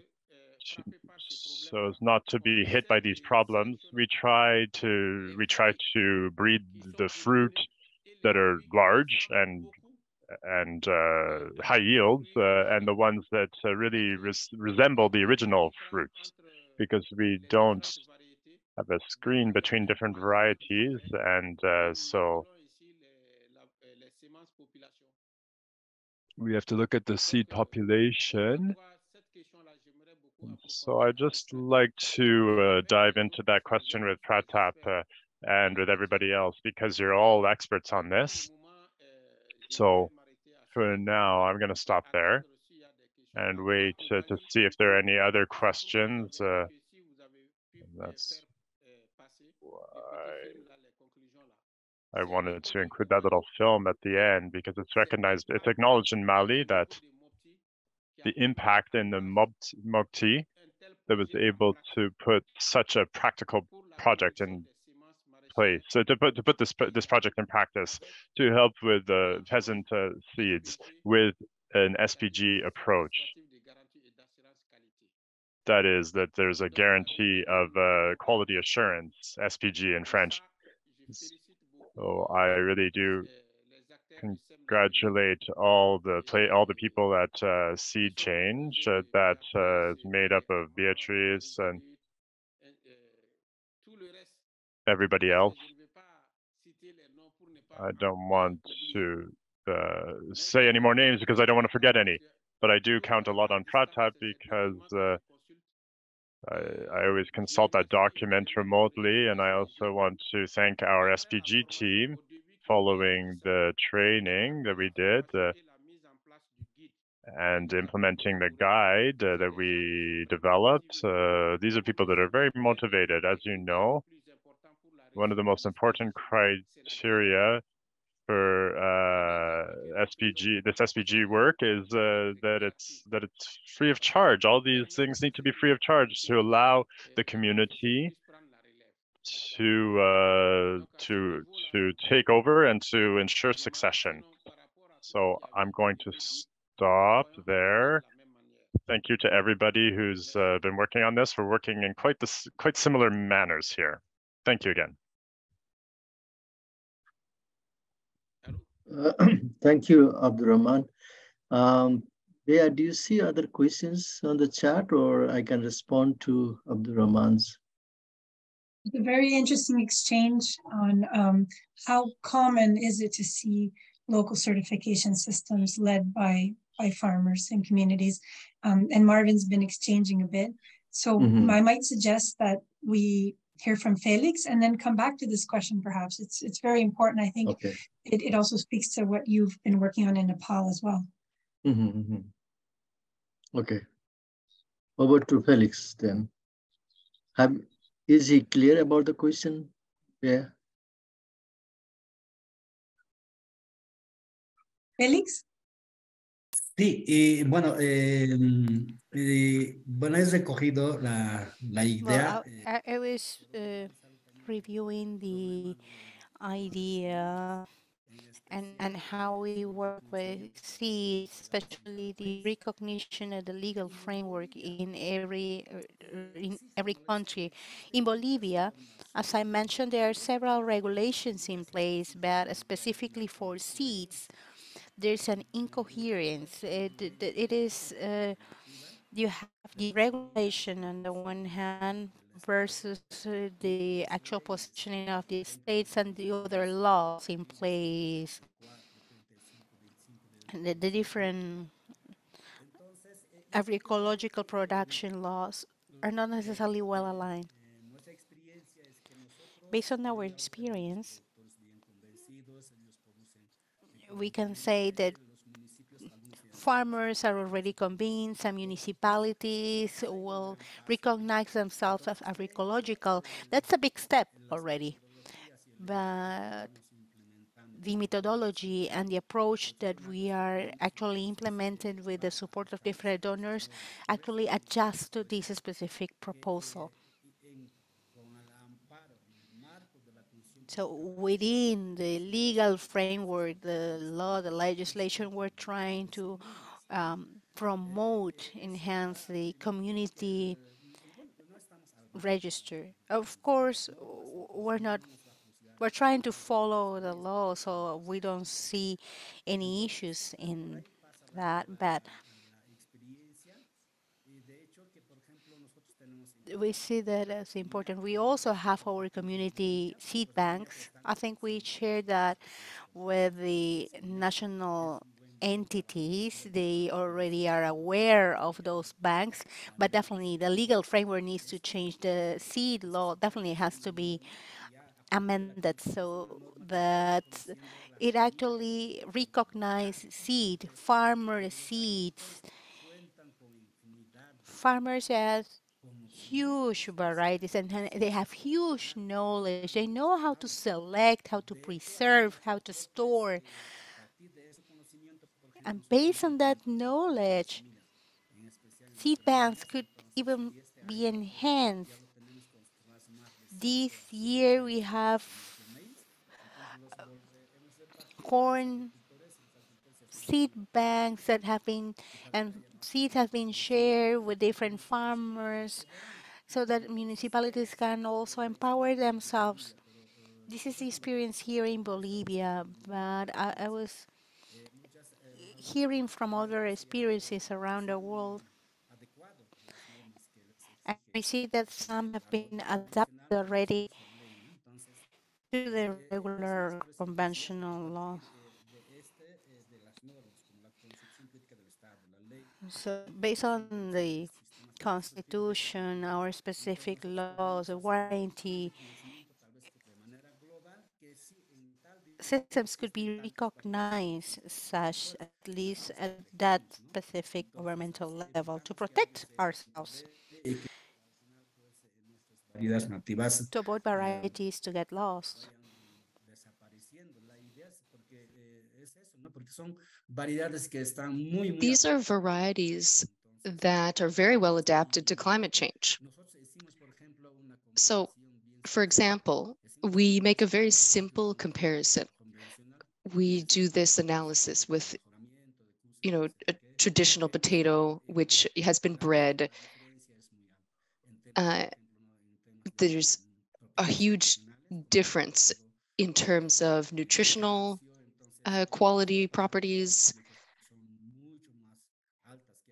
Native potatoes have a, a huge, uh, much, much greater uh, nutritional value than these bred varieties of potato.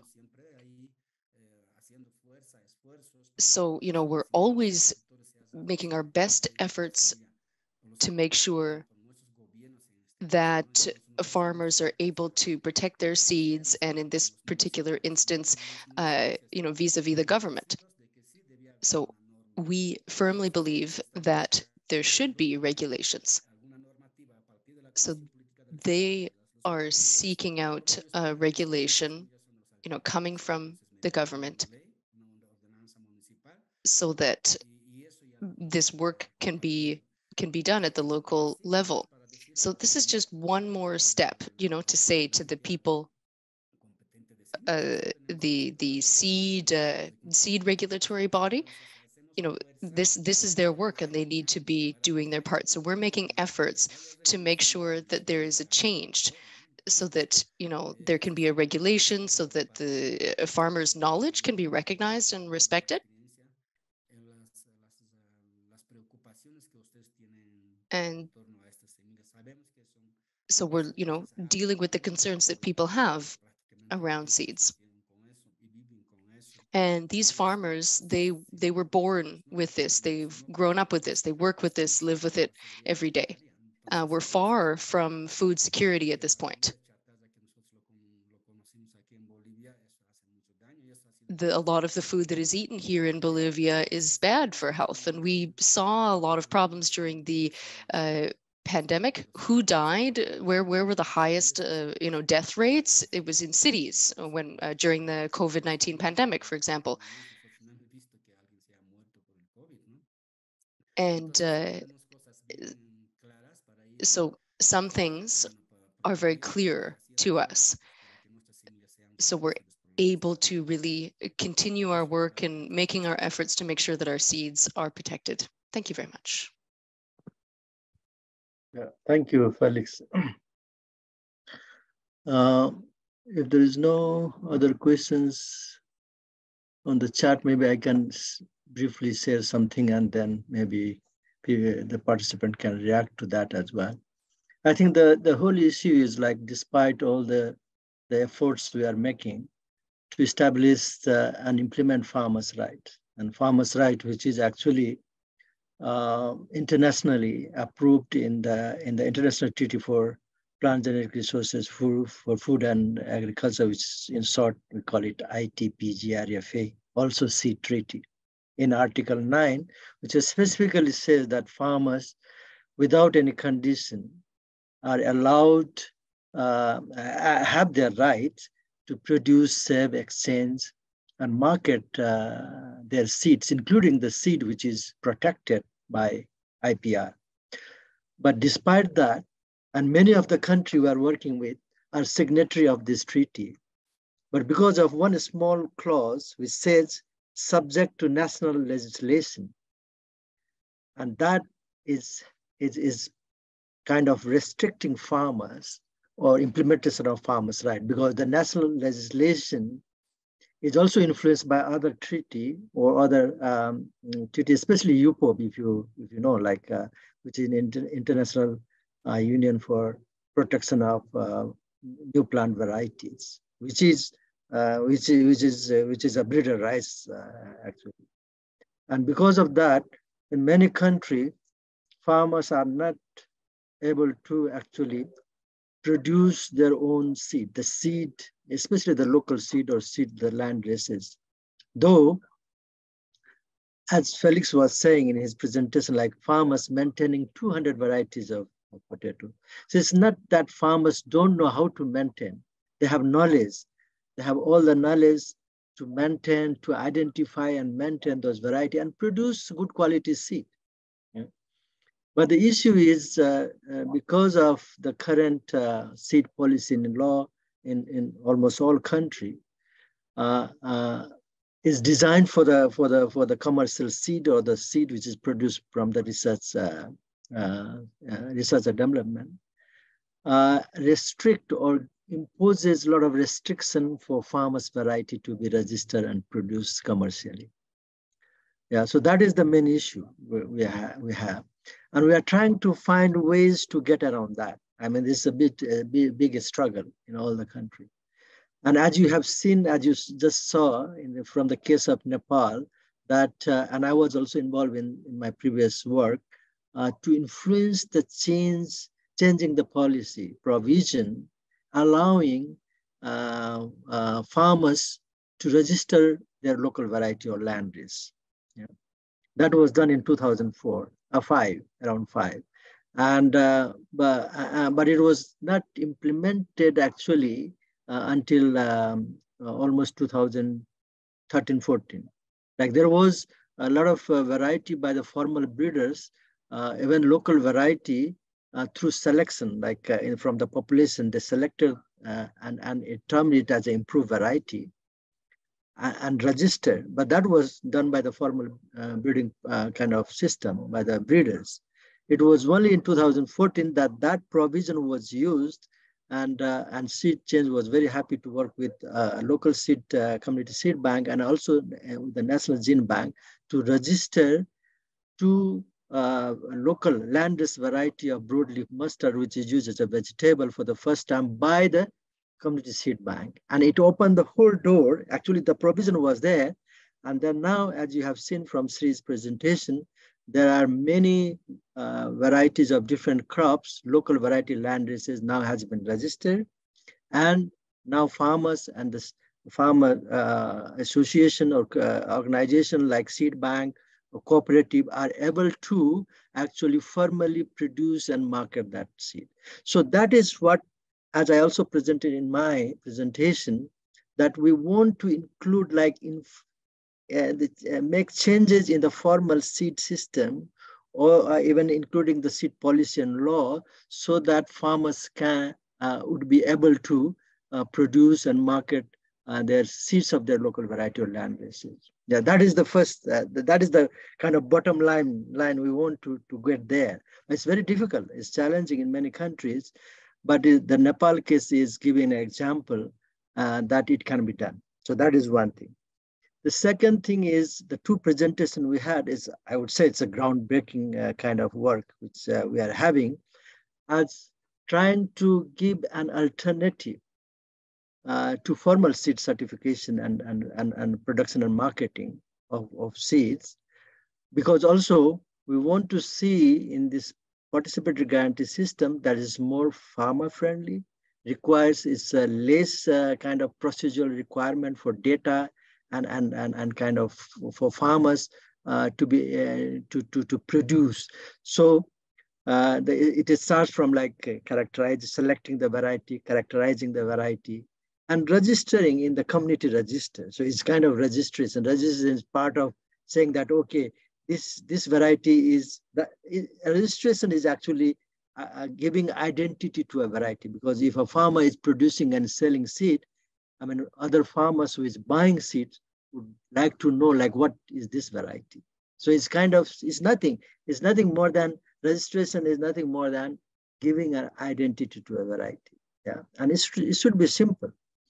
And, and, and so I think uh, if we are if we are able to demonstrate through these two PGS and other other other countries are also doing, uh, we have, we know that uh, our partner in Timor Leste is also uh, piloting this, and from our uh, broader PPB group working group we have, there are a lot of members in that, and we know like in China, one NGO is also piloting this, starting to uh, to work on, on PGS system.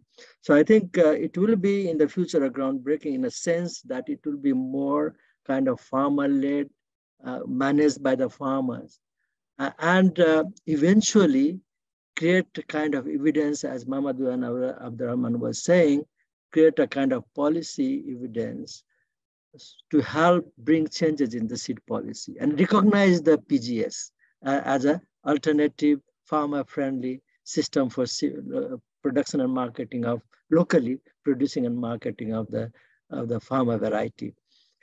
But I think there are challenges still, like as uh, and I, I, think it's very strategic that uh, both in, uh, in in case of Bolivia with uh, PRODI and also with IRPAD, that they are forming strategic. It's very strategic that they are forming a committee, PGS committee, which includes uh, government institution uh, and research institution uh, in a way to kind of give a recognition and support to that. So once they are involved, they see the process that is a, is a very kind of uh, a, a robust, but also uh, practical and and and and, uh, and and and goes with the science. Then it's, it's easy uh, to make policy changes. But I think there are some some changes we also have to see, like how do we tackle that. For example, uh, Felix uh, was saying that the characterization is, is still a challenge because we still have to use to convince the formal system, use the formal characterization process. But what we can also do is discuss with, with the formal system to actually, actually uh, strike a balance and come up with a kind of set of uh, uh, what you call uh, descriptor uh, where you also include farmers descriptor. So it's a combination of some scientific, which is used in science like an formal system, but also include a farmer's descriptor. Because if farmers can recognize and identify 200 variety of potato, they have the knowledge, they know how to do it. It's just a matter of bringing that into the formal system also and have a sort kind of list of manageable size of descriptor. So I think there are these uh, things which will be working in the in the future. I will just take one minute to give uh, answer to Abdul Rahman about how to maintain the, uh, the, the, the, the varietal uh, characteristic or, or the variety, uh, especially the source seeds. I think uh, uh, we can discuss that. There are ways, uh, very simple ways of how to manage, uh, maintain source seed, especially uh, using, uh, looking at what kind of crop it is and kind of if it's a cross-pollinated crop, like how do we produce that, select seed. So it should be a source seed as Sri was saying, farmers will maintain a source seed through community seed bank or their farmer cooperative. And then that source is every time is used to produce the the certified seed. So I think we can discuss that. Uh, uh, now over to the other uh, participants, and I see a hand from Susie, Susan Walsh, our ex-director of uh, Seed Sense. Hi, everybody. Welcome back. Uh, yeah. Thank you. Over and to you. It's just so great. Moi, j'ai pas, j'ai pas compris ce que Pratap vient d'expliquer. Uh, what did uh, I didn't quite follow what Pratap was just was saying. Uh, okay, uh, uh, Abdurrahman, like we can discuss that. There are ways uh, to maintain the, the varietal characteristic or say the, the uniqueness of the variety in terms of like, as you said, like how do we, I mean, we have to look at like whether the size, a change in the size of the fruit is because of genetic or the production factor and also we can use how do we select the source seed. So I think we can discuss that uh, uh, separately. And uh, we have our colleague Marvin, which will uh, can also help us in, in doing that. So over to Susie. So I, I was saying it's just so uh, great to see all of these uh, old friends and also the new leadership in this movement. And so my question relates very much to the leadership issue. Um, and um, we saw in the slides a lot of women participating in the field uh, assessments, etc. But I wonder if you could comment on, on actually how women are emerging as leaders within this, this, this movement, because that was always also a part of, of our goals for this program. And also we know that women are often key uh, to the seed selection process. So if you could it's a less of a technical question and more on that social um, political dimension. Thank you uh, susie i will i will direct this to our presenter uh, if they have any response on that and then we can come and they can we can take this as well from Seed Change.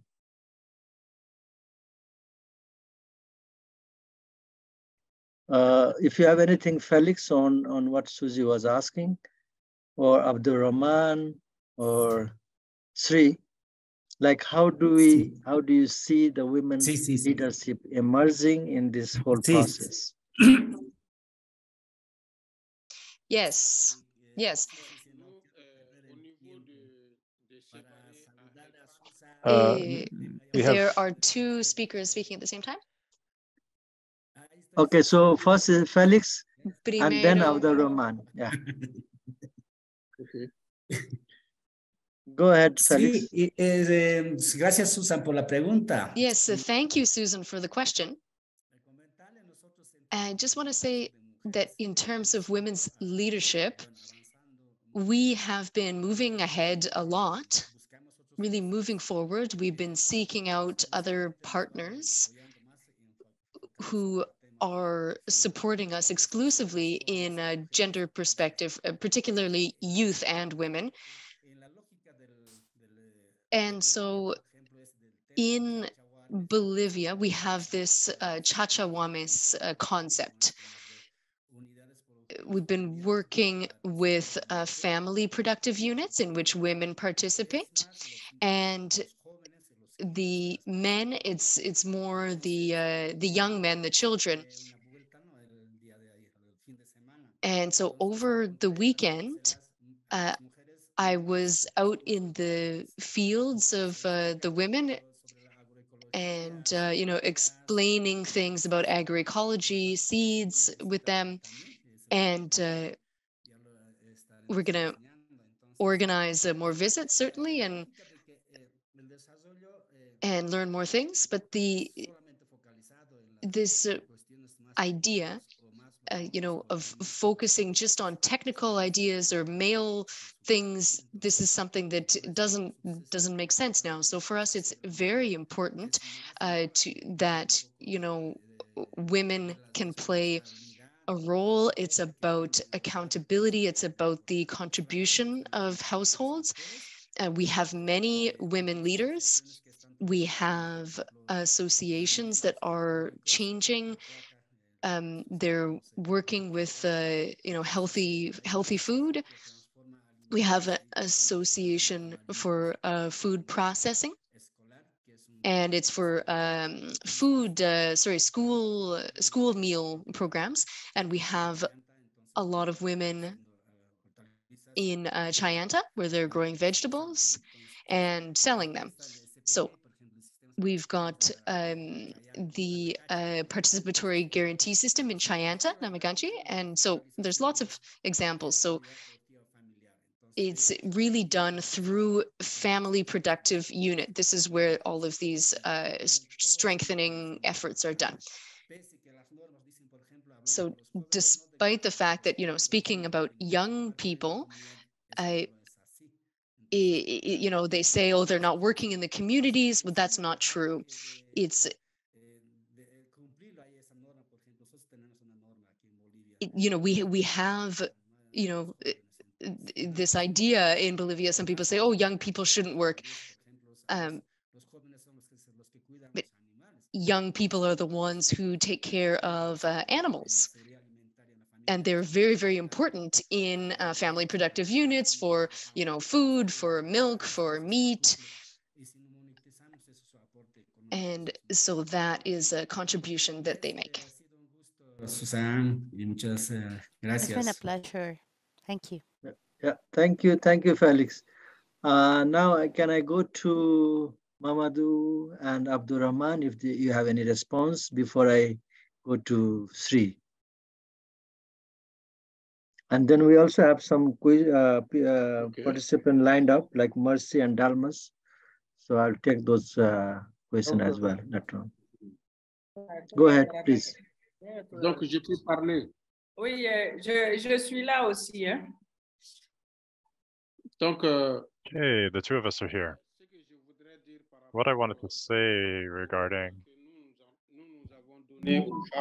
what we, uh, our role in terms of the process of recognizing seeds uh, and making them adaptable, we really did value the role of uh, women because the adaptation tests that we have done, we base these on organo, uh, on on the last word is uh, leave the last word to women in terms of the uh, agroeconomic uh, decisions. So uh, these are adapted and uh, refined by the peasant communication. So this has to be agronomolactic. And so women uh, determine how to turn this into flour. They have to say such and such a variety is good for flour. And then in terms of preparation, the variety when you prepare it, uh, resistance and consistency, and then uh, also how it does in terms of transformation. So that's the reason that now in the whole process that we're doing in terms of adapted of uh, seeds on our territory, uh, the last word is uh, is left to women. And so all of our activities are guided by women as well. So we, in terms of our crops, uh, the program is based on this work that the women have done as well. So we have worked on uh, promoting, in the past we promoted uh, crops that were driven by men, and now we're over the last two years we're trying to promote uh, the various crops uh, that were uh, various varieties that we consider neg neglected. Uh, to get them, we had to you had to go to the market. Uh, so if you are uh, producing such and such a variety, well, uh, you had to go to the market, like I said, and we want to make sure that you're able to get to, to obtain these. Uh, so currently, uh, everything we're doing in terms of seed production, it's women that are at the top. And so that's what I wanted to say for now. Thank, Thank you. you. Thank you, Abdurrahman. Uh, uh, Bea? Oh, I just was wondering if um, also uh, tomorrow we have a bit more uh, equal, gender equality in our speakers. And I mm. think it's very important to note that for Seed Change, it's very important to challenge the uh, rural extension model that is uh, that is you know part of this problem as well, and the importance of women working with women. Um, and in that light, I was wondering if we could uh, ask some of the the wonderful plant breeders we have, rural women, some of who will speak tomorrow, uh, but also going to the question from Mercy, and then perhaps continuing on, uh, just to make sure that we have some some other voices here. Thank yeah, you. So maybe Sri, you can wait a bit, please, and uh, let's take a question from Mercy. I think Mercy is from our uh, our partner in West uh, East Africa, and just to mention before, like giving to to to Mercy, uh, that uh, like uh, promo supporting women uh, leadership, uh, especially around seed has been part of like integral part of uh, seed change program with the partners. And recently we have uh, from support from funding from uh, global, um, um, from um, from GAC, Canadian government, we have a project called Rural Women Cultivating Change, especially which is in Ethiopia, Kenya and Tanzania, where specifically not only women's, uh, we're ensuring uh, uh, women's involvement in production and marketing and use of the seed of their local variety, but also looking at and supporting their participating uh, participation in policy processes uh, related to seed policy and even the, the climate change uh, policies. So with that, I invite Mercy please take the forum and uh, if you have any question. Okay, thank you. Uh, thank you for the good presentation. They are very comprehensive and very informative to us. So I have a, a question on uh, use when we are using the P uh, your sound is breaking. Uh, uh, Mercy, can you say again?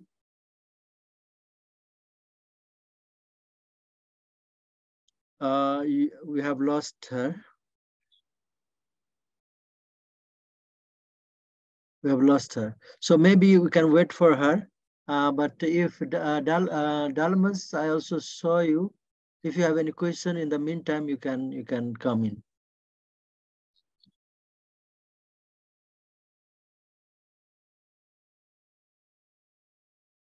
I think uh, we have some. Uh, Hello, bonjour. Tout le monde. Je m'excuse du retard. Hello, everyone. Sorry for the delay. I am Nana from the NGO uh, that has been working with uh, Seed Change for several years. And so I just wanted to say something regarding what we were said about the female leadership. in addition to processing, women also play a, a role in uh, community uh, seed banks uh, and processing seeds that we developed with seed change as well, market garden seeds. Merci also said something regarding children, young youth, and youth is playing a big role in rural labor. And it's not uh, exploitation, uh, it's, uh, for, it's for learning. Children are very important, uh, and this is very important to valuing and promoting agriculture. So thank you to all of you, and thank you for Thank you to all of our partners and the big family, the big Seed Change family. Hello. Thank Abu you, Nana. Bomba. Nice to see Thank you back. You. Yeah, Bomba. Donc, je voulais ajouter ce que Nana vient, je voulais ajouter ce que Nana vient de dire. Euh, il y a la commercialisation. I just wanted to add something. Uh, women are very involved also in uh, diversifying our agricultural. So we have anyway a large variety of, uh, of manioc varieties for transformation processing and also for uh, human and uh, animal feed. So we did have a variety that was a forage, uh, and these are also very appreciated for uh, for, for, for people who raise animals. So there's also biopesticides and biofertilizers, organic ones. And so there are a group of young people who uh, organize themselves to produce this and to make them available to uh, the uh, producers. So that's what I wanted to add. Thank you. Yeah, thank you, Nana and Bomba. I think both Nana and Bomba works with uh, CAB Déméso in Mali uh, and we had a long partnership with with them uh, for many years. So nice to see you. And and I, I must rec- also recognize that both of them were also uh, participated in seed security assessment. So they are also local resource resource in the in the region if you if you need them. Okay. Do you see other question, uh, Bear? Uh, we lost Mercy. Giza? Yeah. Giza? Okay, please, uh, please uh, take your phone. Okay, so uh, maybe while we are waiting for the questions or any uh, remarks, I think I will give the forum to Sri briefly to say like how how how the women leadership is being uh, being uh, included in the in the program. Excuse the work me. you are doing. Cap, Gi- there's a woman named Gisa who's been had her hand up for quite a long Okay, time. okay. Okay. Sorry for that because, sorry, Giza, uh, Gizo, uh, uh, because I, I didn't see you. Gizo, I think uh, is our partner in Ethiopia. Uh, Yeah. Please come in. Yeah. Thank you, Pratap, and uh, thank you, the presenters.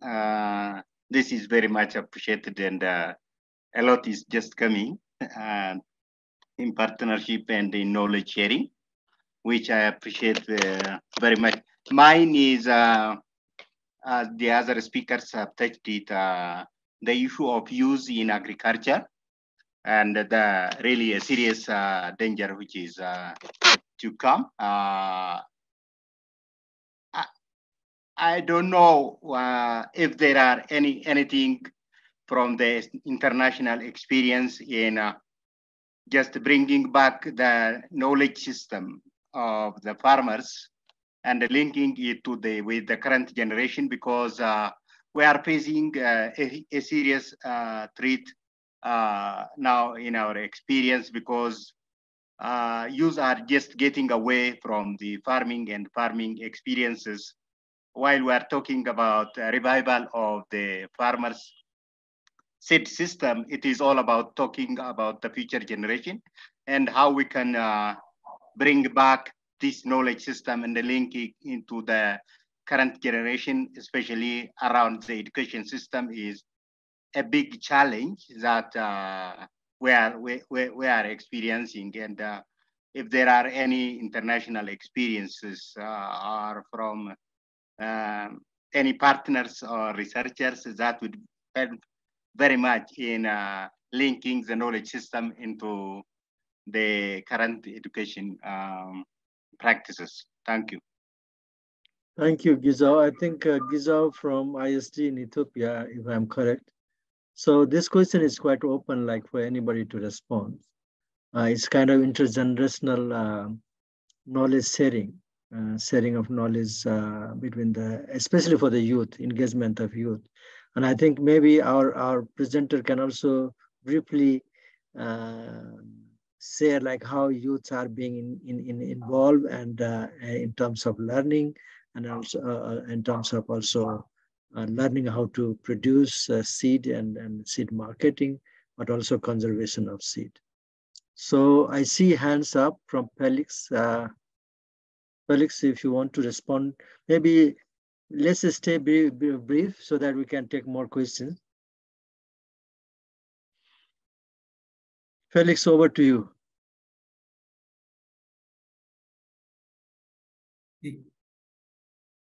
Yeah, eh, gracias. Eh, eh, la, a la pregunta.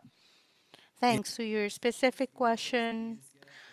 Based on our experience, we have meetings, we held meetings in between elderly and young generations.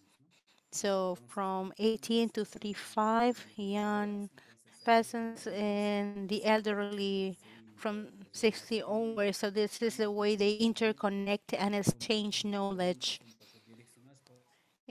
We have specific questions uh, for these two groups.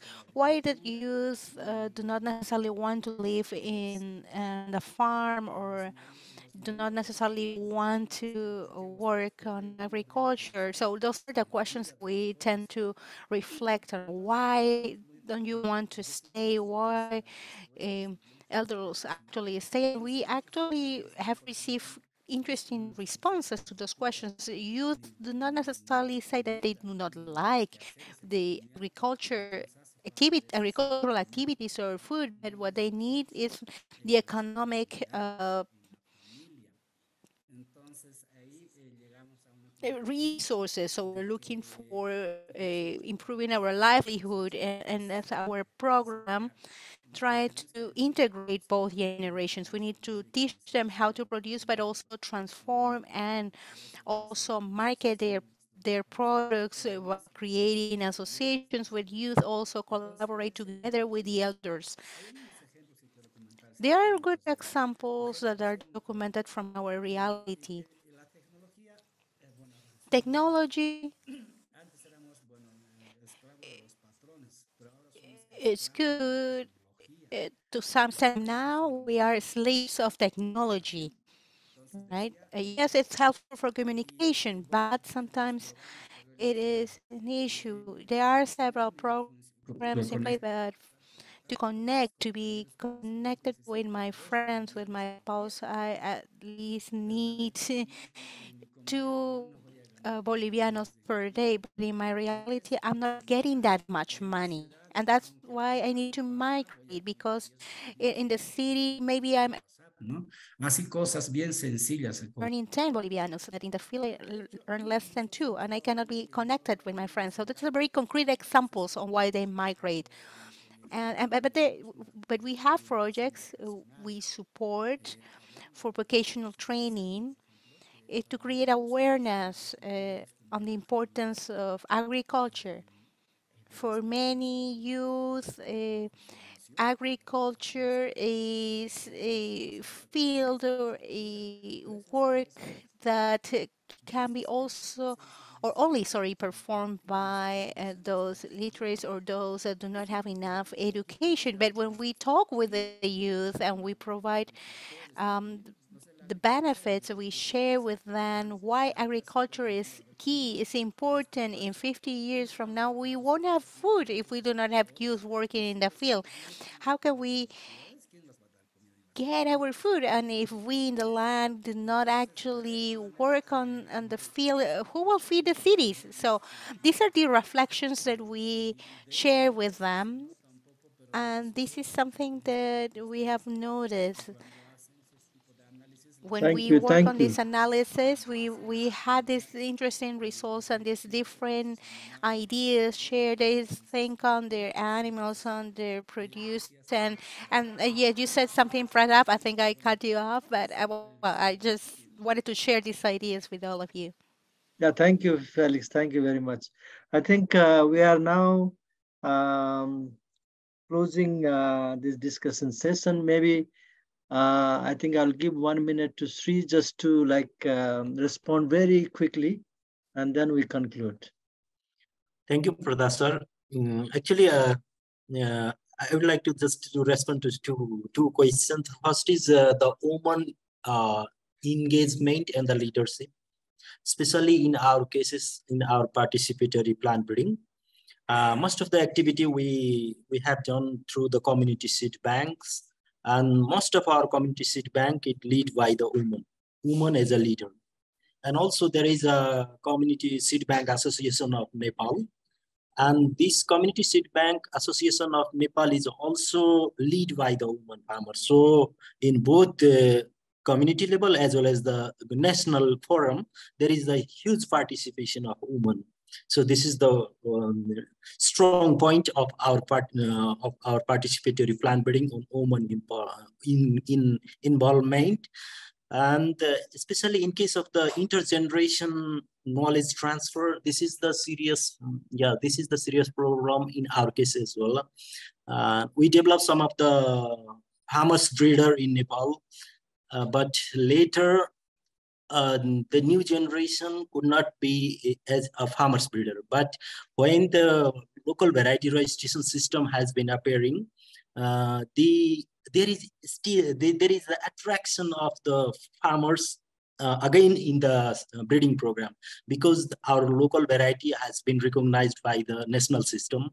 So when the variety has been re recognized and goes to the uh, formal seed system like the seed marketing and everything else, and there is again that this goes to the as a business system. When it goes to the business system again this became a lucrative system like the every uh, new gen like the new generation is appearing and they start to uh, take it as the business venture. Uh, these are the some of our experience yeah, here thank you. Thank you sri. Thank you sri uh, I still see a hand raised uh, from Nana and uh, Bomba. Do you have anything to add or because we are now closing it? Or is just like previous uh, hand raise? Okay. Hello? Hello, hello. Yeah, Bomba, very briefly, hein, because oui. we are running out of time. Je voulais ajouter euh, par rapport à l'implication des jeunes dans la production des semences. As to uh, the involvement of people in the in production of seeds, young people, that is, young people involved at all levels, from production to harvest or to uh, saving.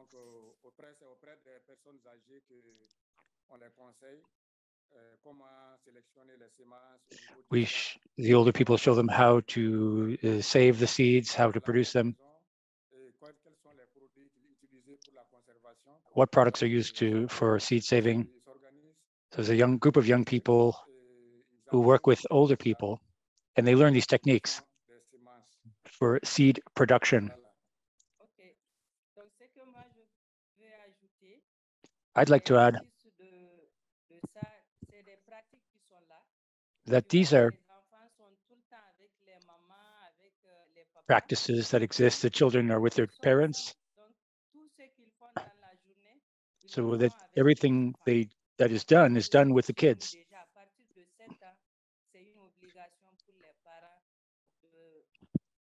As of the age of seven, the kids get involved and they're involved in every part of the process. Before we leave, I'd like to thank everyone.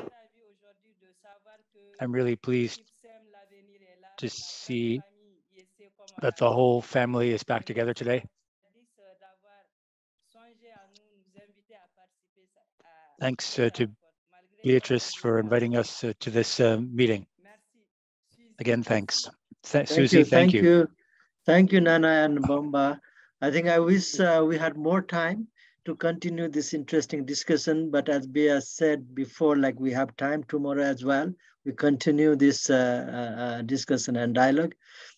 but before I hand over to um, Daniel Wanyama, I think uh, I, I, I, take this opportunity to thank everyone for your valuable contribution, your participation, uh, uh, and uh, sharing your, your experiences. I think this was, this was great. I think uh, now uh, we are coming to end of today's webinar. And before that, I would like to introduce Daniel Wanyama, uh, our colleague uh, from Kenya, who is the executive director of Seed Savers Network, uh, which is a, a, a, a non-government organization based on, on grassroots level initiatives. And as many of you know, might know, Daniel has been a great leader in terms of uh, supporting on-farm conservation of uh, agricultural biodiversity, uh, especially uh, as an important component on, on, on a movement for agroecology, agriculture, uh, ecological agriculture production for healthy food, for food sovereignty. And uh, also, uh, Seed Change has been uh, supporting farming community uh, with um, with institutionalizing, establishing, institutionalizing community seed banks uh, with uh, a kind of almost like a gene bank at the Gilgil Center SSN has, which I recently um, also visited, was uh, was wonderful, which links to actually community seed bank. But also, uh, their work has now been widely acknowledged by the government, uh, research institution, and uh, in, institution, and also uh, there is collaboration going on um, um, uh, for exchanging uh, uh germplasm seeds from the National Gene Bank to community seed banks. Uh, and also, like other uh, very important component, supporting farmers, organizing farmers seed fairs and food fair as part of, of conservation strategy, and also involving giving leadership for uh, participatory plant breeding uh, in creating diversity and choice for the farmer. So with that introduction, I think it's very short introduction. He has more, uh, I think it will be, it will be not uh, fair uh, to, to say in these few uh, words, but over to you, Daniel, uh, to, to share your reflection and also close, give the closing remarks. Thank you. Thank you very much, Pratap. And I am humbled with your long introduction. But uh, yeah, I'm happy to be here and thank you again for visiting us three weeks ago and conducting this uh, training on uh, seed security assessment. We're happy that uh, our work is now going to benefit with that. And we are also very happy with the collaboration, the partnership we are having with the Seed Change. And uh, definitely this is taking our work forward. And I am not very surprised, but um, I have now confirmation that the issues we are facing on seed, they are very much similar across the world. Uh, because, for instance, uh, the presentation by done by Felix, and uh, and thank you very much, Felix, uh, in Bolivia, and uh, we saw that uh, the the the issue of uh, registration of uh, varieties is uh, difficult of potatoes. And this situation is very much similar to Kenya situation. Uh, registration is one of the biggest bottleneck uh, in farmers uh, being able to register their own variety because of the requirement in terms of technical characteristics and also requirement in terms of the funds. And uh, to make the matters worse in Kenya, it is possible for companies or breeders to register farmers' varieties and own them. That is sort of piracy or obtaining intellectual property rights on farmers' variety. And um, other than making it impossible for farmers to register, uh, the laws make make it possible for a private sector to register farmers' varieties and own them. And, and, and I'm also happy with the presentation from uh, Mamadou and uh, uh, Goita. Uh, I also thank you for, for enlightening us on uh, participatory guarantee system on seeds, uh, because also uh, I know in many African countries, a lot of time, uh, if I could give the example of Kenya, organic seeds are illegal. So, and therefore a different mechanism for seed certification need to be found. And uh, maybe PGS is one of them. And uh, I'm happy that it's already working there. We're already thinking about that, uh, finding a way of um, certifying farmers' seeds using the PGS system because uh, the, the, the, the, the conventional certification system will not approve organic seeds because they are not dressed with the chemicals. It's part of the requirement in regulations to have them dressed in chemicals. And therefore, uh, we are happy with that presentation. We have learned a lot. And uh, we are also happy and appreciate the presentation uh, from uh, Shri Prasad uh, because it is in, inspiring that uh, the authorities can recognize farmers' varieties eventually. In Kenya, you know, the, the seed policy recognize that most of the seeds or majority of the seeds come from the farmers' managed system, yet the organic, the, the farmers' managed seed system are not recognized anywhere by the government. Therefore, uh, this is also uh, motivating that maybe someday our seeds might also be recognized uh, by the authority. And uh, I, I, I, thank Seed Change for organizing this forum. We have learned a lot and uh, it's, it's quite inspiring. And uh, I, I, I, hope that we meet again tomorrow.